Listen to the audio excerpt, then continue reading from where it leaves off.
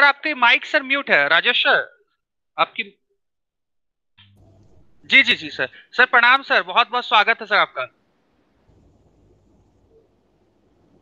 आवाज़ आ रही है सर? हाँ आवाज़ आ रही है? जी जी आपकी भी आवाज़ आ रही है सर। स्पष्ट आ रही है अच्छा थैंक यू। जी सर बहुत तो बहुत सर धन्यवाद। जी आपकी अनुमति हो तो सर कक्षा प्रारंभ करें मैं हाँ, बिल्कुल बिल्कुल बिल्कुल बिल्कुल। जी। जी तो सबसे पहले सुप्रभात सभी विद्यार्थियों को उड़ीसा राज्य मुक्त विश्वविद्यालय की इस ऑनलाइन कक्षा के श्रृंखला में मैं पुनः एक बार आप सभी विद्यार्थियों का हार्दिक आभार और स्वागत करता हूँ कि आप लोगों ने अपना समय दिया, निरंतर अपना समय देते जा रहे हैं। विद्यार्थियों को सबसे बड़ा धन्यवाद मैं बार बार इस वजह से देता हूँ कि कोई भी कक्षा बिना विद्यार्थियों को पूर्ण नहीं हो सकती। इसलिए सबसे बड़ा धन्यवाद के आप लोगों को कि आप लोग नियमित रूप से कक्षा से जुड़ते हैं। और आज का जो हमारा विषय है कृष्ण भक्ति काव्य, जिसके अंतर्गत हम सूरदास के ऊपर चर्चा करेंगे। और इस विषय को पढ़ाने के लिए जो विषय विशेषज्ञ आज हमारे साथ जुड़ चुके हैं, उनका भी बहुत बहुत धन्यवाद। सर का नाम डॉक्टर राजेश गर्ग है और वर्तमान में सर इलाहाबाद विश्वविद्यालय के हिंदी विभाग में। बतौर एसोसिएट प्रोफेसर कार्यरत है। तो मैं अपने विश्वविद्यालय की ओर से सर आपका बहुत बहुत स्वागत करता हूँ सर। और सर आपसे आग्रह है कि आज की जो विषय है उस पर सर आगे बढ़े सर। धन्यवाद सर। अभिषेक जी बहुत बहुत स्वागत आपका। और मैं आपके बाद मैं भी हमारे उड़ीसा के मेधावी विद्यार्थियों और भक्ति कविता की जो उद्भव भूमि है प्रारंभ भूमि है ऐसी भूमि के आप और अपने विद्यार्थियों का बहुत बहुत स्वागत बहुत बहुत अभिनंदन करता हूँ। आज का जो, आज का जो विषय है, जो आपसे तय हुआ है, वो है कृष्ण भक्ति कविता, जो कि हमारी विरासत की कविता है। भारत की संस्कृति को अभिव्यक्त करने वाली कविता है, ऐसी कविता और उस कवि के महानतम आचार्य जिन्हें साहित्यकारों ने सूर कहा है, सूर सूर तुलसी ससी, उड़ुगन के सवदास अब के कवि खद्योत समझता करत प्रकाश। ऐसे साहित्य जगत के सूर, सूरदास को केंद्र में रखकर हम दो विषयों पर आज अपने विद्यार्थियों से चर्चा करने वाले एक विषय है विनय के पद जो पाठ्यक्रम में है और दूसरा विषय है भ्रमर गीत अंश। सूरदास के सूर सागर का भ्रमर गीत अंश ऐसे दो विषयों पर चर्चा करें। दरअसल, पाठ्यक्रम में इन दो विषयों को रखने की योजना बिल्कुल स्पष्ट है। जब हम विनय के पद पढ़ते हैं तो हम सूर की भक्ति को जानना चाहते हैं। जब हम भ्रमर गीत का पद पढ़ते हैं तो हम सूर के श्रृंगार के वियोग पक्ष, संयोग और वियोग दोनों पक्षों को जानना चाहते हैं। यानी कि आज की चर्चा का केंद्रीय विषय है। सूर की भक्ति भावना को ध्यान में रखना विनय के पदों के माध्यम से। और दूसरा है सूर के श्रृंगार वर्णन को, विशेष रूप से विरह वर्णन को ध्यान में रखना भ्रमर गीत प्रसंग के माध्यम से। ऐसी दो चर्चाएँ हम लोग करेंगे। आचार्य रामचंद्र शुक्ल का नाम हमारे विद्यार्थी ज़रूर जानते होंगे। शुक्ल जी की एक टिप्पणी ज़रूरी है और हर विद्यार्थी को सूरदास पर शुक्ल जी की वह टिप्पणी जाननी चाहिए। टिप्पणी है कि साहित्य के इतिहास में लिखते हैं, शुक्ल जी, कि जयदेव की देववाणी स्निग्ध पीयूष धारा जो काल की कठोरता से दब गई थी, अवसर पाकर मिथिला की अमराइयों में विद्यापति के कोकिल कंठ से प्रकट हुई। ये तो एक फ़ेज़ है। फिर कहते हैं, आगे चलकर ब्रज के करील कुंजों के बीच फैलकर मुरझाए मनो को सींचने लगी, आचार्यों की छाप लगी, आठ वीणाएँ भगवान कृष्ण का कीर्तन करने के लिए उठी और इन वीणाओं में सबसे सुरीली और मधुर झंकार अंधे कवि सूरदास की वीणा की थी। देखिए, साहित्य का पुरोधा सूरदास को कैसे स्मरण करता है, यह नहीं कहता कि वो शास्त्र का आचार्य है। यह नहीं कहता कि वो काव्य शास्त्र का मर्मज्ञ है। यह कहता है कि सूर की विशेषता क्या है? वीणा के झंकृत तारों से कृष्ण भक्ति का रस सामान्य जन के मन में प्रविष्ट करा देना। ऐसा स्मरण आचार्य शुक्ल करते हैं। आचार्य शुक्ल ने कविता का स्मरण नहीं किया, वीणा का स्मरण किया है, और वीणा भी कैसी? जो झंकार है जिस वीणा में, ये झंकार कैसी? जो मनुष्य के मन को झंकृत कर दे, मनुष्य के रस, मनुष्य के मन को पीयूष से भर दे, अमृत से भर दे, उसे भक्ति भाव की तरफ़ ले जाए ऐसा महान कवि सूरदास। सूरदास के विषय में बात करने के पहले उस परंपरा को जानना पड़ेगा। जिस परंपरा के कवि हैं सूरदास, हमारे यहाँ श्रीमद भागवत नाम का एक बहुत प्रसिद्ध ग्रंथ है। सभी विद्यार्थी उस ग्रंथ का नाम जानते होंगे। श्रीमद भागवत ग्रंथ में एक बड़ा काम पौराणिक काल में हुआ इस देश में। और वो कौन सा काम था? ज्ञान पर माने भगवान को जाने, आत्मा को जाने, परमात्मा को जाने, जगत को जाने, शरीर को जाने, जगत की रचना को जाने, ऐसा जो ज्ञान मार्ग है भगवान शंकराचार्य द्वारा प्रतिपादित, इस ज्ञान मार्ग से इतर मनुष्य के मन को प्रेम से भर देने वाला एक भक्ति मार्ग, मनुष्य के हृदय को करुणा से भर देने वाला एक भक्ति मार्ग मनुष्य के हृदय में सुख भाव को स्थायी रूप से स्तंभ की तरह स्थापित कर देने वाला भक्ति मार्ग, ऐसे भक्ति मार्ग का ज्ञान पर भक्ति की विजय का शास्त्र है श्रीमद् भागवत गीता। और जब उस श्रीमद् भागवत गीता से प्रेरणा लेते हैं सूरदास जी तो ये अकारण नहीं है। क्यों? क्योंकि ज्ञान के तो बहुत सारे ग्रंथ हैं। सूरदास तो विद्वान आदमी थे। तो उन्होंने वेदों का संदर्भ क्यों नहीं लिया? आप बताइए। हमारे विद्यार्थी सोचे जरा कि उन्होंने वेदों का संदर्भ क्यों नहीं लिया? उन्होंने पुराणों में जो कृष्ण कथाएँ थी, उन कथाओं के ज्ञान पक्ष का संदर्भ क्यों नहीं लिया? उन्होंने शंकराचार्य के अद्वैत वेदांत का वही संदर्भ क्यों नहीं लिया? आखिर क्या कारण है कि उन्हें पुष्टि मार्ग के आचार्य वल्लभाचार्य अधिक प्रिय लगते हैं। और जबकि भारतवर्ष को उस समय कौन से प्रिय थे आचार्य? स्वयं भगवान शंकराचार्य, जिन्होंने उत्तर से दक्षिण तक यात्रा कर भागवत धर्म की प्रतिष्ठा की, सनातन धर्म की प्रतिष्ठा की। ऐसे शंकराचार्य उन्हें प्रिय नहीं लगते तो ऐसा कोई कारण तो होगा ना?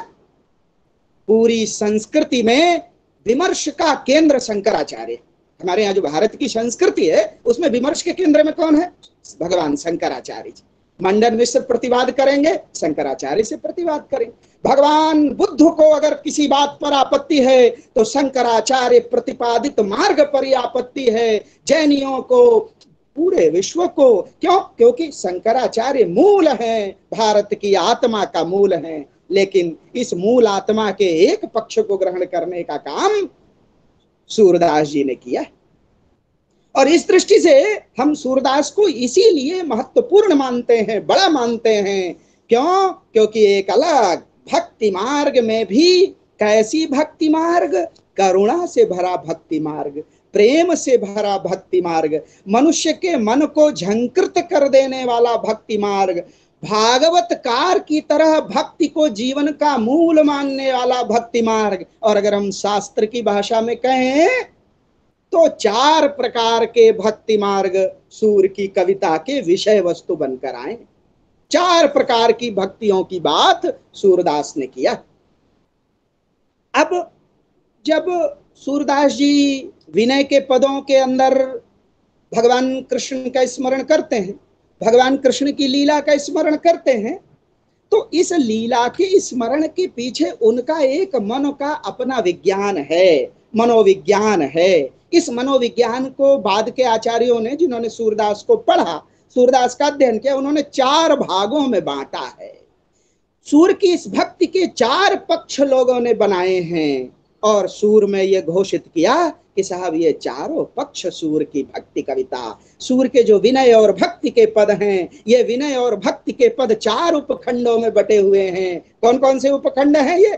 पहला खंड है साधारण भक्ति का खंड। साधारण भक्ति कैसा? भगवान के सामने हाथ जोड़कर भगवान की करुणा की अपेक्षा करना। संकट में पड़े हुए व्यक्ति को संकट से उबारने के लिए भगवान का स्मरण करना। सूरदास ने अपने प्रारंभिक पदों में विनय जहाँ से प्रारंभ किया है, ऐसे प्रारंभ के पदों में इसी साधारण भक्ति की चर्चा की। साधारण भक्ति माने जन सामान्य की भक्ति। हमारी भक्ति कैसी है? हमारे मन में पीड़ा है, कष्ट है, हम भगवान को स्मरण करते हैं कि प्रभु, हमारे इस करुणा को दूर करना। सूरदास ने भी यही किया। सूरदास कहते हैं कि मनुष्य के पास भगवान की करुणा और दया दाक्षिण्य के अलावा कोई अन्य मार्ग नहीं है। अपने कष्ट निवारण का यही आसरा है। और इसी को अन्योक्ति के माध्यम से इसी को सूरदास की एक बड़ी विशेष शैली है। आप विद्यार्थियों को ज़रूर जानना चाहिए। अद्भुत है सूरदास। दृष्टांत के सहारे अपने पदों को लिखने वाला हिंदी साहित्य का अकेला आचार्य है सूरदास। दृष्टांत माने? उदाहरण देकर अपनी बात कहना, और हर पद में ये उदाहरण। माने, पहली पंक्ति में एक विषय रखना, और फिर बहुत सारे उदाहरण देना, और अंत में पहली पंक्ति को सिद्ध कर देना, ऐसे दृष्टांत की सहायता से, उदाहरणों की सहायता से सूर ने अपनी भक्ति का विषय प्रतिपादित किया। और आप बताइए, आप विद्यार्थी हैं, हम सब भक्त लोग हैं, हम लोग सूर की कविता का महत्व क्यों मानते हैं? क्योंकि हमें वो कविता समझ में आती है। शंकराचार्य शंकराचार्य का कथन हमें समझ में क्यों नहीं आता? क्यों? क्योंकि वो पारमार्थिक कथन है, थोड़ा कठिन है। आप देखिए शंकराचार्य कहते हैं कि अपार संसार समुद्र मध्य सम्मंजतों में शरणम की मस्ती सूर्य ने यहीं से शुरू किया है। इसी पद शंकराचार्य के इस विषय को सबसे पहले उठाया है। क्यों? क्योंकि शंकराचार्य का यह उद्घोष था। शंकराचार्य से एक भक्त ने पूछा कि साहब, आप उत्तर से दक्षिण तक कन्याकुमारी से लेकर कर्नाटक होते हुए पूरे भारतवर्ष का भ्रमण किया है। मुझे एक सवाल का उत्तर देना, महाराज शंकराचार्य जी। शंकराचार्य जी ने कहा, पूछो भाई। भक्त ने पूछा कि क्या है मार्ग इस संसार में? मुक्ति का बस इतना बता देना प्रभु। यही सवाल सूरदास से भी लोगों ने पूछा। अब देखिए, शंकराचार्य और सूरदास का अंतर आप देखिएगा, आपको आपको लगेगा कि कितना बड़ा महान आचार्य है सूरदास। शंकराचार्य ने उत्तर दिया, अपार संसार समुद्र मध्य सम्मंजतो में शरणम की मस्ती गुरु कृपालौ कृपया वदयित विश्व पादाम्बुज दीर्घ नौका। क्या है साहब? भगवान का सरल ही मार्ग है। अपार संसार के मध्य में, संसार रूपी समुद्र के मध्य में मुक्ति का क्या मार्ग है? अपार संसार समुद्र मध्य सम्मंजतों में शरण की मस्ती। क्या है शरण? गुरु कृपालो कृपया वदई विश्व सपादाम्बुज दीर्घ नौका। उस भगवान विश्व रूप भगवान के अम्बुज रूप पैर ही संसार में मुक्ति का साधन है ऐसा भगवान शंकराचार्य कहते और यही बात इसी बात से सूर सागर का प्रारंभ है। शंकराचार्य की इसी प्रश्नोत्तर से सूर सागर का आविर्भाव है। हमारे विद्यार्थियों ने अप, अपने पाठ्यक्रम का पहला पद पढ़ा होगा।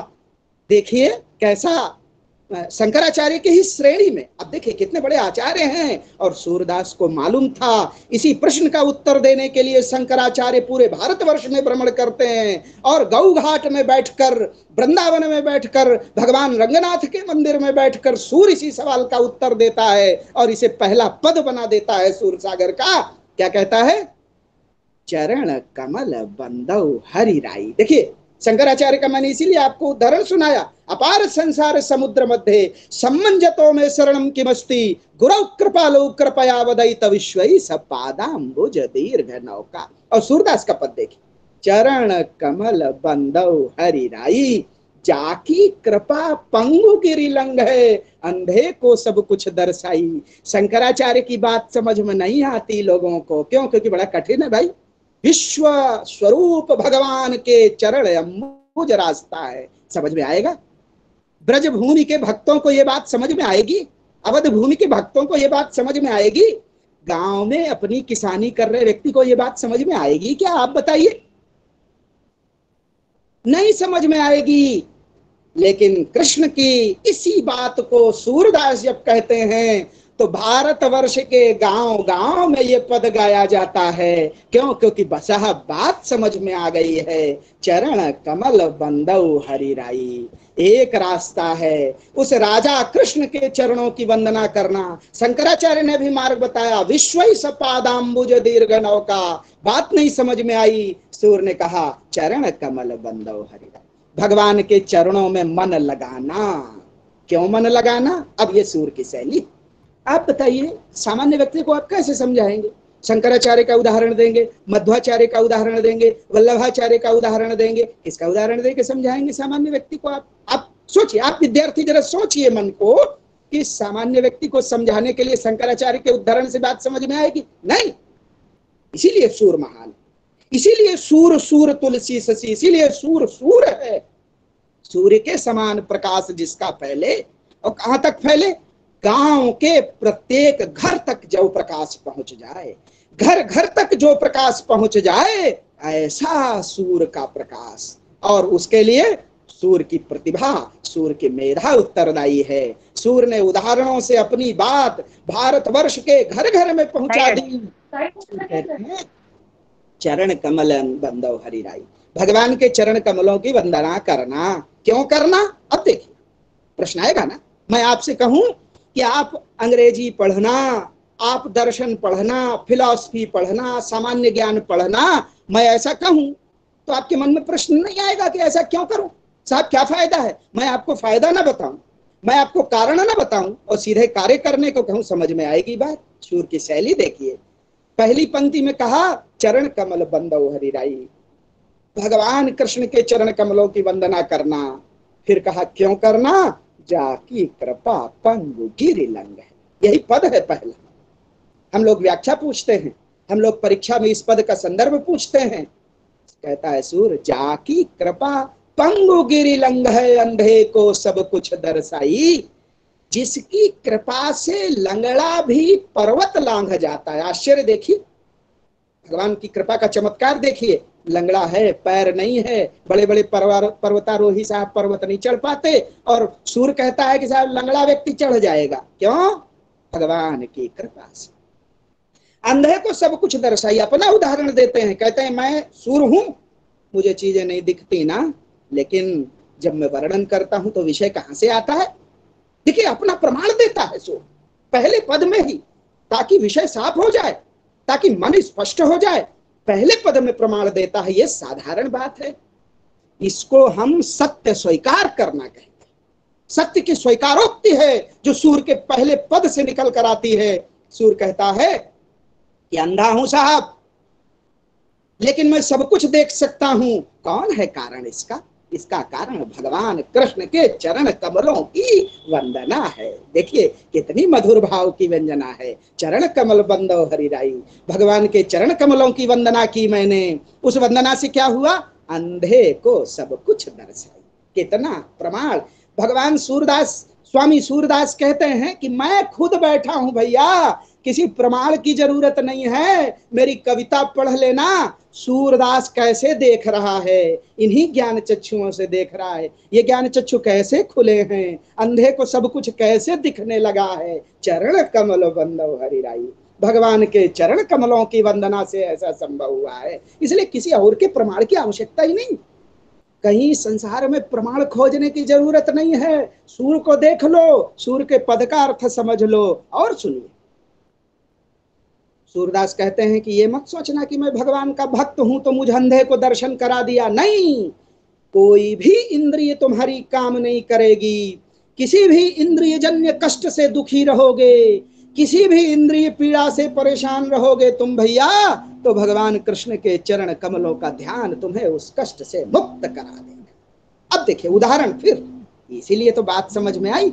उदाहरण देखिए, कहता है, जाकी बहिरो सुने, मुँह कपुनि बोले बहरा सुनने लगता है, मुँह की पुनि बोले गूँगा बोलने लगता है, रंग चले सिर छत्र धराई।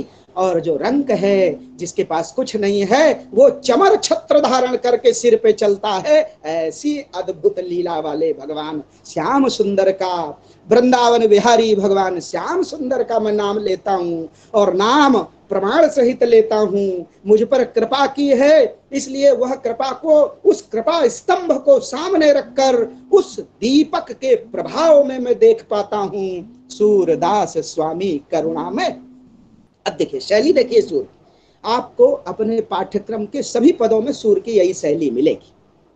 कौन सी शैली है? पहली लाइन में अपनी बात कहना, चरण कमल बंदव हरिराई, प्रार्थना करना कृष्ण की। फिर दूसरी, तीसरी, चौथी, पांचवी, छठवीं लाइनों में उदाहरणों से अपनी बात कहना, जैसे इस पद में उदाहरण दिया और फिर अंतिम अंतिम पंक्ति में अपनी पहली पंक्ति को पुष्ट करना। सूरदास स्वामी करुणामय बार बार बंदवती ही पाई। बार बार बंदवती ही पाई, इसीलिए बार बार वंदना करता हूँ मैं कृष्ण की। ऐसा, ऐसी बात से आरंभ किया है सूरदास ने। और इसलिए सूरदास उस महान परंपरा के आचार्य हैं। जो शंकराचार्य से जुड़ती है, वल्लभाचार्य से जुड़ती है, मध्वाचार्य से जुड़ती है, भक्ति मार्ग से जुड़ती है, पुष्टि मार्ग से जुड़ती है और नारद भक्ति सूत्र से जुड़ती है। नारद का नाम आपने सुना होगा। नारद ने नारद एक ऋषि जिन्होंने भक्ति शास्त्र को, का प्रणयन किया था और उसी नारद के ही एक सूत्र को लेकर भक्ति के सारे आचार्यों ने काम किया है, चाहे वो तुलसी हो चाहे वो सूर हो चाहे वो दूसरे विद्वान क्यों ना हो। कौन सा सूत्र है? उस सूत्र को जानना हमें ज़रूरी कौन सा सूत्र है वो? स, भक्ति सा तस्मय परम प्रेम रूपा। भक्ति क्या है? सा तस्मयी परम प्रेम रूपा। जो परम प्रेम स्वरूप हो, जो प्रेम में स्थापित कर दे, जो मन को करुणा और प्रेम से भर दे, स्नेह से भर दे, रोए रोए से प्रेम का निष्कासन होने लगे, हर रोम छिद्र भगवान के नाम का स्मरण करने लगे, रोवा रोवा भगवान की भक्ति से पुलकित तो हो जाए, ऐसी भक्ति है नारद ने कहा।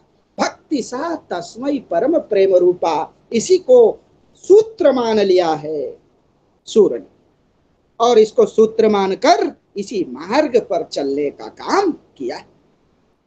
इसीलिए मैंने शुरू में बताया था कि इसीलिए भक्ति के भागवत में जो वर्णित स्वरूप है, वो सूर को प्रिय लगा है। कौन सा स्वरूप है?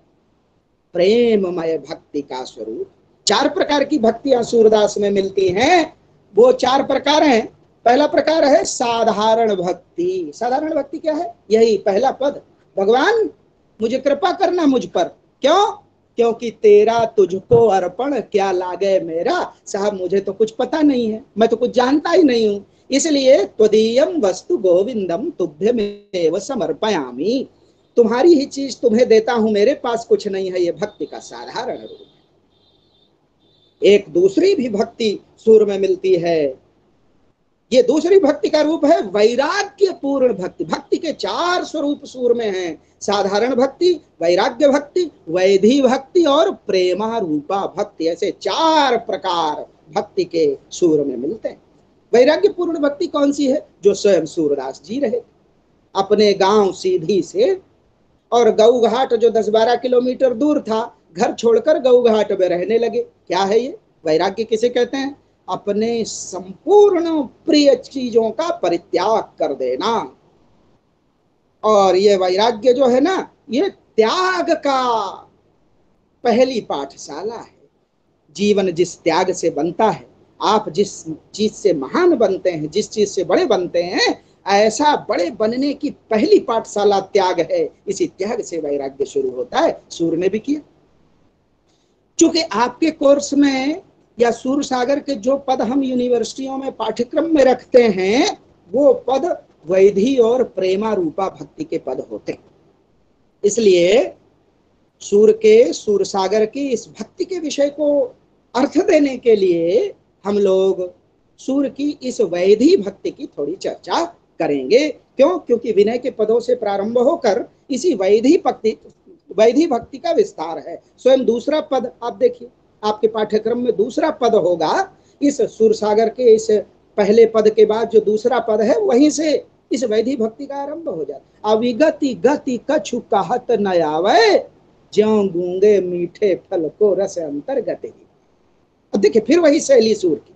पहली पंक्ति में विषय कहा, अविगति गति कछु कहत न और बाकी पंक्तियों में फिर उदाहरण से अपनी बात को पुष्ट करेंगे जो गूँगे मीठे फल को रस अंतर्गत ही था। गूँगा है, बता नहीं सकता। गुड़ उसको खिलाएँगे, मिठाई खिलाएँगे, आप आदर करेंगे, बता तो नहीं पाएगा। आप उससे पूछिए, आप उसे मारिए। नहीं नहीं, बताना पड़ेगा तुम्हें कैसा लगा कैसा लगा। बता पाएगा क्या? नहीं, अंतर्गत ही भाव ऐसा है भगवान का नाम लेने का आनंद। हम पूछेंगे, हम किसी महात्मा से पूछेंगे? अब पूछते थे लोग सूरदास से गौ घाट में बैठा बीड़ा बजा रहा है। आते जाते नहा, स्नान करने वाले लोग आ रहे हैं, दूसरे लोग आ रहे हैं। पूछते हैं लोग कि, सूरदास जी, महाराज जी क्या मज़ा मिल रहा है आपको इस बीड़ा बजाने में? इसी का उत्तर दिया है। कहा, साहब, बता नहीं सकता क्या मज़ा मिल रहा है। क्या आनंद है नहीं बता सकता? क्यों नहीं बता सकते? एक उदाहरण सुन लो। जो गूँगे मीठे फल को रस अंतर्गत ही भाव। है ये तो साहब वही है कि गुड़ खिला दिया गूँगे को और पूछ रहे हो उससे ज़बरदस्ती। बता पाऊँगा? नहीं है, शब्द नहीं है। परम स्वाद सब ही सुनिरंतर। अमित तोष उपजावे। जानते हो क्या है इस भगवान की ये जो वीणा में मैं कृष्ण नाम संकीर्तन कर रहा हूँ ना, नमो राघवाय कर रहा हूँ ना, श्याम सुंदर श्याम सुंदर कर रहा हूँ, राधा वल्लभ भगवान कृष्ण का नाम ले रहा हूँ। जानते हो इससे क्या होता है? अमित तोष उपजावे, मन प्रसन्न होता है। और इतना संतोष भाव पैदा होता है कि जिन्हें तुम प्राप्त करने के लिए सड़क सड़क घूमते हो ना, उन्हें मैं तुच्छ समझता वो बातें मुझे प्रभावित नहीं करती। तुम अपने घर का निर्माण करते हो, मुझे देखो, मैं अपने घर का परित्याग करके बैठा हूँ। और अमित तोष क्यों परित्याग करके? क्योंकि जीवन में सब कुछ तो आप नहीं छोड़ सकते। तो मन मन हमारा एक कोष है, मनोमय कोष कहते हैं उसे। उस कोष में खाली जगह अगर भगवान के प्रेम से भर गई ना तो दूसरी जगहों के लिए, दूसरी चीज़ों के लिए स्थान ही नहीं बचता। इसीलिए देखिए आप, जो भगवान के भक्त लोग हैं, उनको किसी और चीज़ की आशा या अभिलाषा नहीं रह जाती। फिर कहता है सूर्य, परम स्वाद सब ही सुनिरंतर अमित तोष उपजावे। असाधारण संतोष पैदा करता है मेरे कृष्ण के नाम का उच्चारण करना। देखिए, ये ये ये दूसरा पद है सूर सागर का।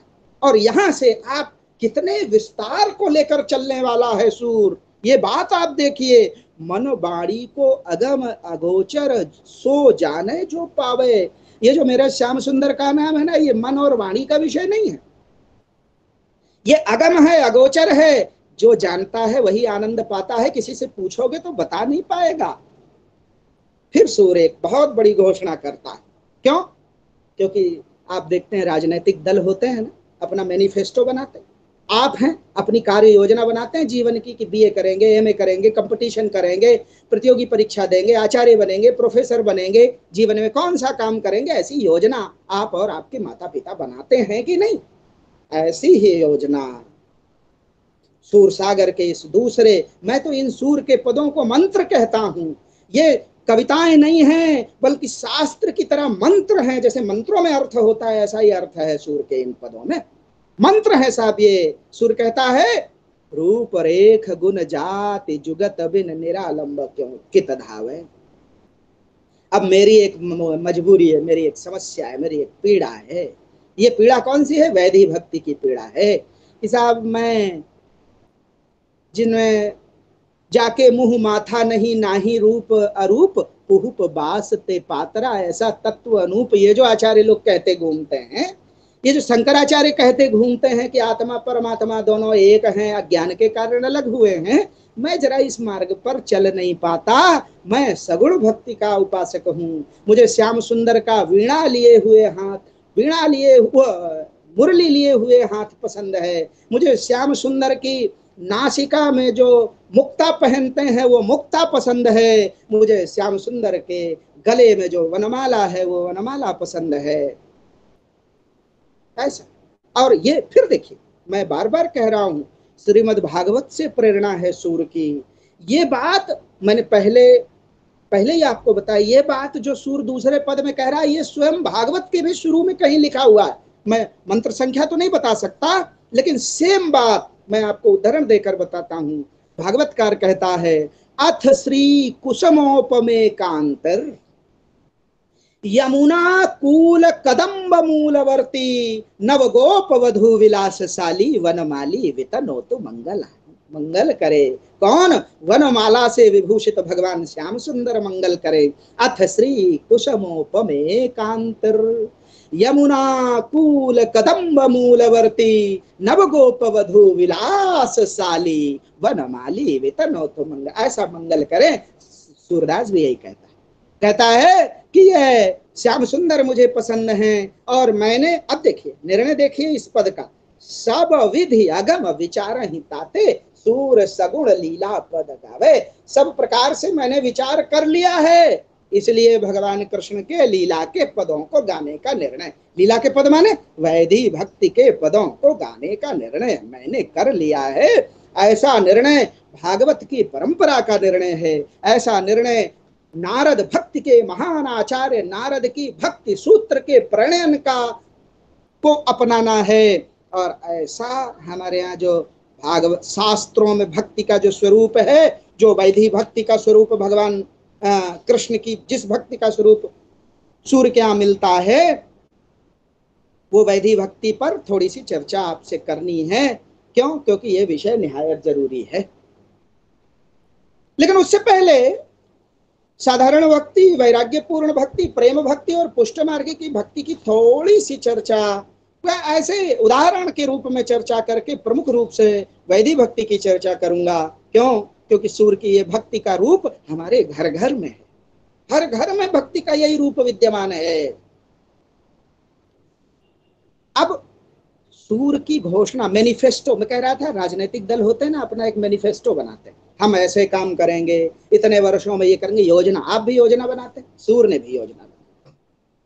और सूर्य ने योजना ही नहीं, अपना घोषणा पत्र जारी कर दिया। क्या घोषणा पत्र है? आप देखिए। सूर्य की घोषणा देखिए। सूर्य ने अपना घोषणा पत्र जारी कर दिया। कहा, भैया, सुनो। जाको मनमोहन अंग करे। भगवान श्याम सुंदर जिसे स्वीकार कर लेते हैं ना, ताको केस खसे नहीं सरते। बाल नहीं कोई बांका कर पाता उसका। ताको केस खसे नहीं सरते, जो जग बैर परे। पूरा जग बैरी हो जाए तो भी बाल नहीं बांका कर पाएगा, ऐसी घोषणा सूरदास करते उस समय तक समाज में सामंतवाद विद्यमान था। और ऐसे सामंतवाद में कुछ बड़े शक्तिशाली लोग भी थे। लोग उनकी भी भक्ति किया करते थे। उनके यहाँ भी सलाम ठोकते थे, माथा नवा जाते थे। सूर ने अपनी घोषणा के दूसरे हिस्से में एक और बहुत मज़ेदार बात कही। सूर कहता है कहता है, जा पर दीना नाथ ढरे। श्याम सुंदर की जिस पर कृपा हो जाती है। इसलिए श्याम सुंदर की कृपा पाना क्यों? सोई कुलीन बड़ो सुंदर सोई, जा पर कृपा करे। कुलीन कौन? जिस पर भगवान श्याम सुंदर की कृपा हो जाए। महान कौन? जिस पर श्याम सुंदर की कृपा हो जाए। बड़ा आदमी कौन? जिस पर श्याम सुंदर की कृपा हो जाए। मतलब देखिए, राजा बड़ा नहीं मैनिफेस्टो है सूर का। राजा बड़ा नहीं, बड़ा कौन? जा पर कृपा करे, कौन श्याम सुंदर? वो क्या है? सोई बड़ो, वही बड़ा है। सोई कुलीन, और तो और, सूर की घोषणा देखिए। सूर पतित तरि जाय तनक में, जो प्रभु नेक ढरे। नेक, थोड़ी सी कृपा श्याम सुंदर करेगा तो ढर जाएँगे। अब ये घोषणाएँ कहाँ से आई हैं? ये श्रीमद भागवत की घोषणाएँ। श्रीमद भागवत में सुखदेव जी महाराज इन्हीं विषयों को लेकर तो बैठते हैं। सुखदेव जी महाराज ने जो कथा करी है, उस कथा का क्या मंत्र है? उस मंत्र को सूर अपनाता है। क्या है? सुखदेव जी की एक घोषणा है कि हम जीवन में, चाहे आप इसे भाग्यवाद कह सकते हैं, क्या घोषणा है सुखदेव जी की कि हम अपना पुरुषार्थ जिसे संसार में मानते हैं, वो अपना पुरुषार्थ है नहीं, वो भगवत कृपा है। अब सूर का पद देखिए, सूर की पंक्ति देखिए, सूर सागर का संदर्भ देखिए। कहता है, सूर, करी गोपाल की सब होई। सूर सागर का पद। करी गोपाल की सब होई, जो अपनो पुरुषार्थ मानत आती झूठी है सोई। भैया, सब झूठा है। अपना पुरुषार्थ मानकर तुम सोच रहे हो कि तुम ये घर बनवा रहे तुम सोच रहे हो कि तुम अपने बाल बच्चों का पालन पोषण कर रहे हो? तुम सोचते हो कि तुम अपने माता पिता की सेवा कर रहे हो? तुम सोचते हो कि सृष्टि के नियंता तुम हो तो झू, आती झूठी है सोई। ये तो घोषणा है। अब घोषणा के उत्तरवर्ती, अपनी भक्ति की घोषणा के उत्तरवर्ती सूरदास ने मार्ग भी बताया। आप केवल घोषणा पत्र जारी कर देंगे, चलेंगे नहीं उस पर। मैनिफेस्टो घोषित किया सूर ने, और इसके बाद सूर ने रास्ता बताया। बड़ा अद्भुत रास्ता है सूर का। इसीलिए मुझे, मैं बिल्कुल सहमत हूँ। नाभादास के इस कथन से, भक्तों के इस कथन से, समीक्षकों के इस कथन से कि सूर सूर तुलसी ससी उड़गन के शब्दार सूरदास सूर्य हैं साहित्य जगत के। क्यों? देखिए मैनिफेस्टो के बाद कैसा बढ़िया रास्ता बताया। कहा भैया लोगों ने पूछा होगा, कहा कि महाराज, हम तो कृषि कार्य में लगे रहते हैं। हम तो राज्य की सेवा में लगे हैं, हम तो साहब सैनिक हैं, हम तो व्यापारी हैं, हमारा तो जीवन इसी में बीता जा रहा है। तो कैसे भगवान की कृपा मिलेगी? सूर ने कहा, और गाकर कहा, क्या जो लो मन कामना न छूटे। मार्ग है कौन सा मार्ग है?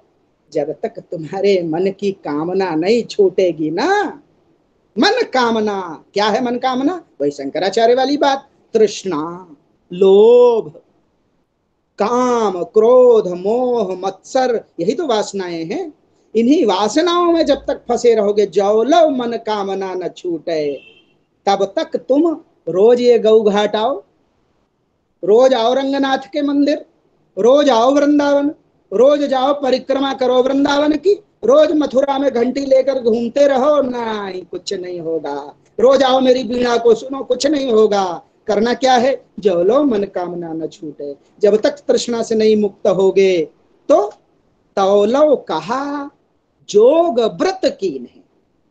तुम व्रत रहो, घंटी बजाओ, रोज नहाओ, तीन घंटे भगवान का भजन करो, नहीं। जौलो मन कामना न छूटे तौलो कहा जोग व्रत की ने बिनु कन तुसको फूटे उदाहरण दे, सूर की अद्भुत विशेषता है सूर प्रणम्य है, सूर कहता है, उदाहरण देखिए, कहता है कैसे? जैसे धान हमारे यहाँ चावल होता है ना, चावल के में एक खोल के अंदर बीज होता है। उस बीज को हम हम, अब तो मशीनें आ गई हैं, नहीं तो पहले हमारे गाँव में कूट कर उस बीज को निकाल लिया जाता था और वही चावल था, आप चावल खाते। तो भूसी निकल जाती है, चावल बाहर आ जाता है, चावल उत्पाद है, चावल को खाकर हम आनंद का अनुभव करते हैं, हमारी क्षुधा शांत हो जाती है। लेकिन क्या तुम धान खा सकते हो क्या? नहीं खा सकते। क्यों? क्योंकि गले में अटक जाएगा, पेट में फंस जाएगा। धान को चावल में बदलना अनिवार्य है। फिर अब उदाहरण दे रहा है, ग्रामीण जीवन का उदाहरण। हर घर घर का उदाहरण, इसलिए तो घर घर में सूरदास कहता है, तौलो कहा, जोग व्रत की नहीं, ये व्रत की है और रोज घंटा बजाए और रोज ये वृंदावन आए और वृंदावन में जो गोवर्धन पर्वत है, रोज उसकी परिक्रमा से, चित्रकूट में कामदगिरी की परिक्रमा से, अयोध्या की पंचकोशी परिक्रमा से नहीं भैया, मिलेगा कुछ। क्यों? क्योंकि ये सब क्या होगा? बिनु कन तुस को फूटे जैसे भूसी है भूसी। धान की भूसी, उसको हम निकाल के चावल निकालते हैं। अब भूसी से सब चावल निकल जाए। अब फिर उस भूसी को तुम कूटते रहो कूटते रहो तो कुछ निकलेगा। जब चावल निकल गया है तो भूसी कूटने से अब चावल नहीं मिलेगा। बिनु कन तुस को कूटे। ये भूसी कूटने से कण नहीं मिलने वाला, ऐसे ही काम, क्रोध, मद, लोभ, शत्रु हैं, जो इतना नहीं छूटे। तो क्या करना होगा?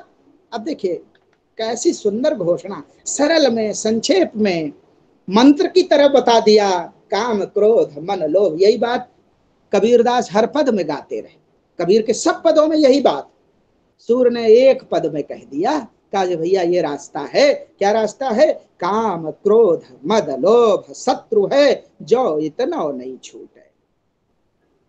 काम, क्रोध, मोह, लोभ छोड़ दो तो भगवान के भक्ति का मार्ग मिलेगा। सूरदास तब ही तमना से ज्ञान अगिन झर टूटे ऐसा सूरदास ने भक्ति का मार्ग निकाला। मैं सूर सागर के जिस संदर्भ की तरफ़ अपने एमए और सूर के सगुण भक्ति कविता की, कृष्ण भक्ति धारा के जिन संदर्भों की ओर आपका ध्यान ले जाना चाहता था, आज उधर थोड़ा सा ज़रूर चलते हैं। ये विषय है वैधि भक्ति का संदर्भ। वैधि भक्ति किसे कहते हैं? वैधि भक्ति कहते हैं, जो भक्ति उड़ीसा में, कर्नाटक में, तमिलनाडु में, उत्तर प्रदेश में, उत्तर भारत में, पूर्वोत्तर में, पश्चिम में, पूर्व में, भारत में सर्वत्र जिस भक्ति का प्रचार है, ऐसी वैधि भक्ति क्या है वैधि भक्ति पहले मैं संस्कृत का मंत्र बता देता हूँ, क्योंकि उसी का हिंदी अनुवाद है सब्जेक्ट क्या है वैधि भक्ति? श्रवणम कीर्तनम विष्णु स्मरणम पाद सेवनम अर्चनम वंदनम दास्यम सख्य आत्मनिवेदनम यह है वैधि भक्ति। भगवान के नाम का श्रवण करना, कीर्तन करना श्रवणम कीर्तन विष्णु। स्मरणम पाद सेवनम स्मरण करना, चरण पादुका का सेवन करना अर्चनम वंदनम दास्यम भगवान की अर्चना करना, वंदना करना दास्यम इसको बहुत उठाया है पूरे सूर सागर में। दास्यम क्या है? दास्य भाव की भक्ति करना। सख्य आत्मनिवेदनम, सख्य भाव की भक्ति करना, आत्मनिवेदन की भक्ति करना, ऐसे नवधा भक्ति के नव मार्ग हैं। मैं आप चूँकि सूर सागर पढ़ेंगे, सूर पढ़ेंगे तो आपको मैं उदाहरण से ज़रूर इस नवधा भक्ति का संदर्भ आपको देना चाहूँगा, ताकि जब आप पढ़ें तो भक्ति के इन स्रोतों के जो अजस्त्र जल स्रोत हैं, जहाँ सदैव से पंद्रहवीं शताब्दी से जहाँ भक्ति की रस की धारा बह रही है, आज तक बह रही है, इन स्रोतों को आप ज़रूर पहचान लें। काल के प्रवाह में, आचार्य रामचंद्र शुक्ल ने यही कहा था ना, कि काल की कठोरता में जो दब गई थी, मिथिला की अमराइयों में वो वृंदावन में सूर्य के कंठ से प्रकट हुई तो यानी कि ये जो अजस्र स्रोत हैं कभी कभी भूमि के नीचे दब जाते जल का उद्भव देखा, नदी का उद्भव, किसी ने आप में से जिन लोगों ने, जिन बंधुओं ने देखा होगा, जिन मित्रों ने देखा होगा जल के स्रोतों को, कि पानी का बुदबुदा, पानी केरा बुदबुदा, असमानस की जात देखत ही मिट जाएगा, ज्यो तारा प्रभात प्रभात कहा है ना कबीर। तो यानी कि बुलबुल बुलबुल बुदबुदे की तरह जल स्रोत से पानी निकलता है और वही नदी बन जाता है, वही तालाब बन जाता है, वही पोखर बन जाता है। ऐसे भक्ति के ये स्रोत सूर सागर में छिपे कहीं कहीं वो दिख जाते कहीं कहीं नहीं दिख जाते। करुणा की धारा तो दिखती है, भक्ति की धारा तो दिखती है, प्रेम की धारा तो दिखती है, लेकिन ये जो स्रोत हैं, इन स्रोतों पर ध्यान नहीं जाता, क्योंकि कुछ कंकड़ पत्थर मिट्टी सी पड़ी आपको सूर सागर में मिलेगी। मैं इन नव स्रोतों की तरफ़ आपका ध्यान आकृष्ट कर क्योंकि बहुत महत्वपूर्ण है। सूर को सूर को जानना माने भारत के घर घर को जानना। सूर को जानना माने अपने मन को जानना।